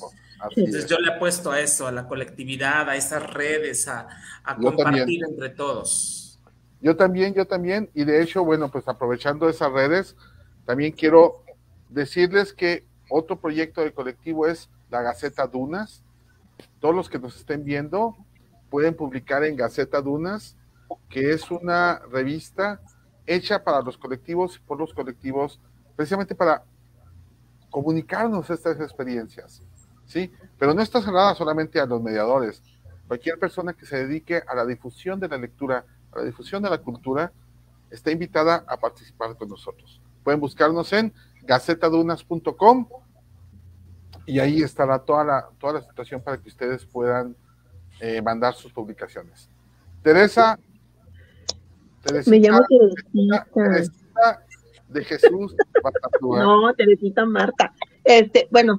Marta, tú eres, tú eres un pilar y fuiste un pilar y sigues estando aquí conmigo. Este, hay otras personas por ahí, eh, nuestra queridísima compañera de Chihuahua. Este, ¿O cuál de todas? Es que tenemos a Amelia, tenemos a Amelia, Amelia Valdés, Amelia Valdés, que entre los tres hicimos esa locura de ponernos a hacer conversatorios en línea que después surgió la fogata. Muchas gracias, muchas gracias Tere, porque sin esas palabras y sin ese empuje que en ese entonces me diste, no hubiésemos cumplido 13 programas hoy. No, no, gracias a ti. Qué bueno que seas perseverante. No hay que quitar el dedo del renglón. Sí es cierto que puede haber cosas especiales, qué bueno que las haya, pero esto no se debe dejar porque podemos estar, como ya lo dijeron los compañeros, con personas, así como Kiko que está tan lejos de nosotros. Sabrá Dios al rato hasta con chinos, ve tú a saber. Pero el caso es que esto no se debe de perder, porque así como lo dijo Salvador, también la palabra, la palabra no se pierde aquí. Aquí se guarda en el mismo face. Entonces, si no lo pudiste ver ahorita, lo vas a ver después. Entonces, para mí es un orgullo estar aquí, Juan, y va a ser un orgullo seguir trabajando contigo y vamos a ver qué nos espera el año que entra. Yo, yo digo que muchas cosas buenas y lo mismo invitar a los que estén este, escuchando, viendo, que nos hagan saber sus inquietudes. ¿Por qué? Porque también eh, para el cerebro que es Juan de, de la fogata necesita ese alimento, las inquietudes de qué les gustaría de que se tratara la fogata. Un abrazo a todos y un gusto conocerlos a los que no les conozco. Y bueno, ya para terminar, y, por cierto, eh, la fogata generalmente tiene un, un, formulario para que inscripciones. Y en esta ocasión, eh, este formulario les, les va a dar acceso a todos los que se registraron precisamente a poder participar en nuestra biblioteca virtual exclusiva para mediadores y mediadoras, que es una colección que hemos estado recolectando, bastante interesante, que así de entrada están los 12 libros del programa nacional, aquellos antiguos que ya son difíciles de conseguir, están ahí, más otros tantos libros más que, eh, que se han estado recopilando, que son trabajos muy importantes para los mediadores. Entonces, todos aquellos que se registraron en el, en el formulario, les voy a hacer llegar la liga para que puedan acceder a esta, a esta biblioteca que espero les sea muy útil en su haber como mediador. Pues nada, eh, me despido, me despido por esta noche, 30 de octubre, porque ya empieza la hora de la bruja, entonces es importante estar preparados. Es importante recibir aquellos que nos vienen y nos visitan y sobre todo es importante abrazar nuestras costumbres. Colectivo Lectores en el Desierto les agradece a todos por su presencia, les agradece a los invitados y continúenos viendo último sábado de cada mes. Y por lo pronto, déjenme les platico, la siguiente fogata va a ser una fogata muy especial porque vamos a transmitirla desde la ciudad de Guadalajara, Jalisco, desde un lugar mágico, lleno de letras, lleno de hojas, lleno de libros. Desde la FIL internacional, desde la Feria Internacional de Libros en la ciudad de Guadalajara, alrededor de la fogata. Imagínense. Entonces, los esperamos el próximo sábado, último sábado del mes. Y pues nada, disfruten mucho de esta noche, de, este fin de semana de muertos. Eh, coman mucho, beban mucho, disfruten mucho, lloren mucho, rían mucho, pero sobre todo manténganse abrazados siempre. Hasta la próxima. Hasta la próxima.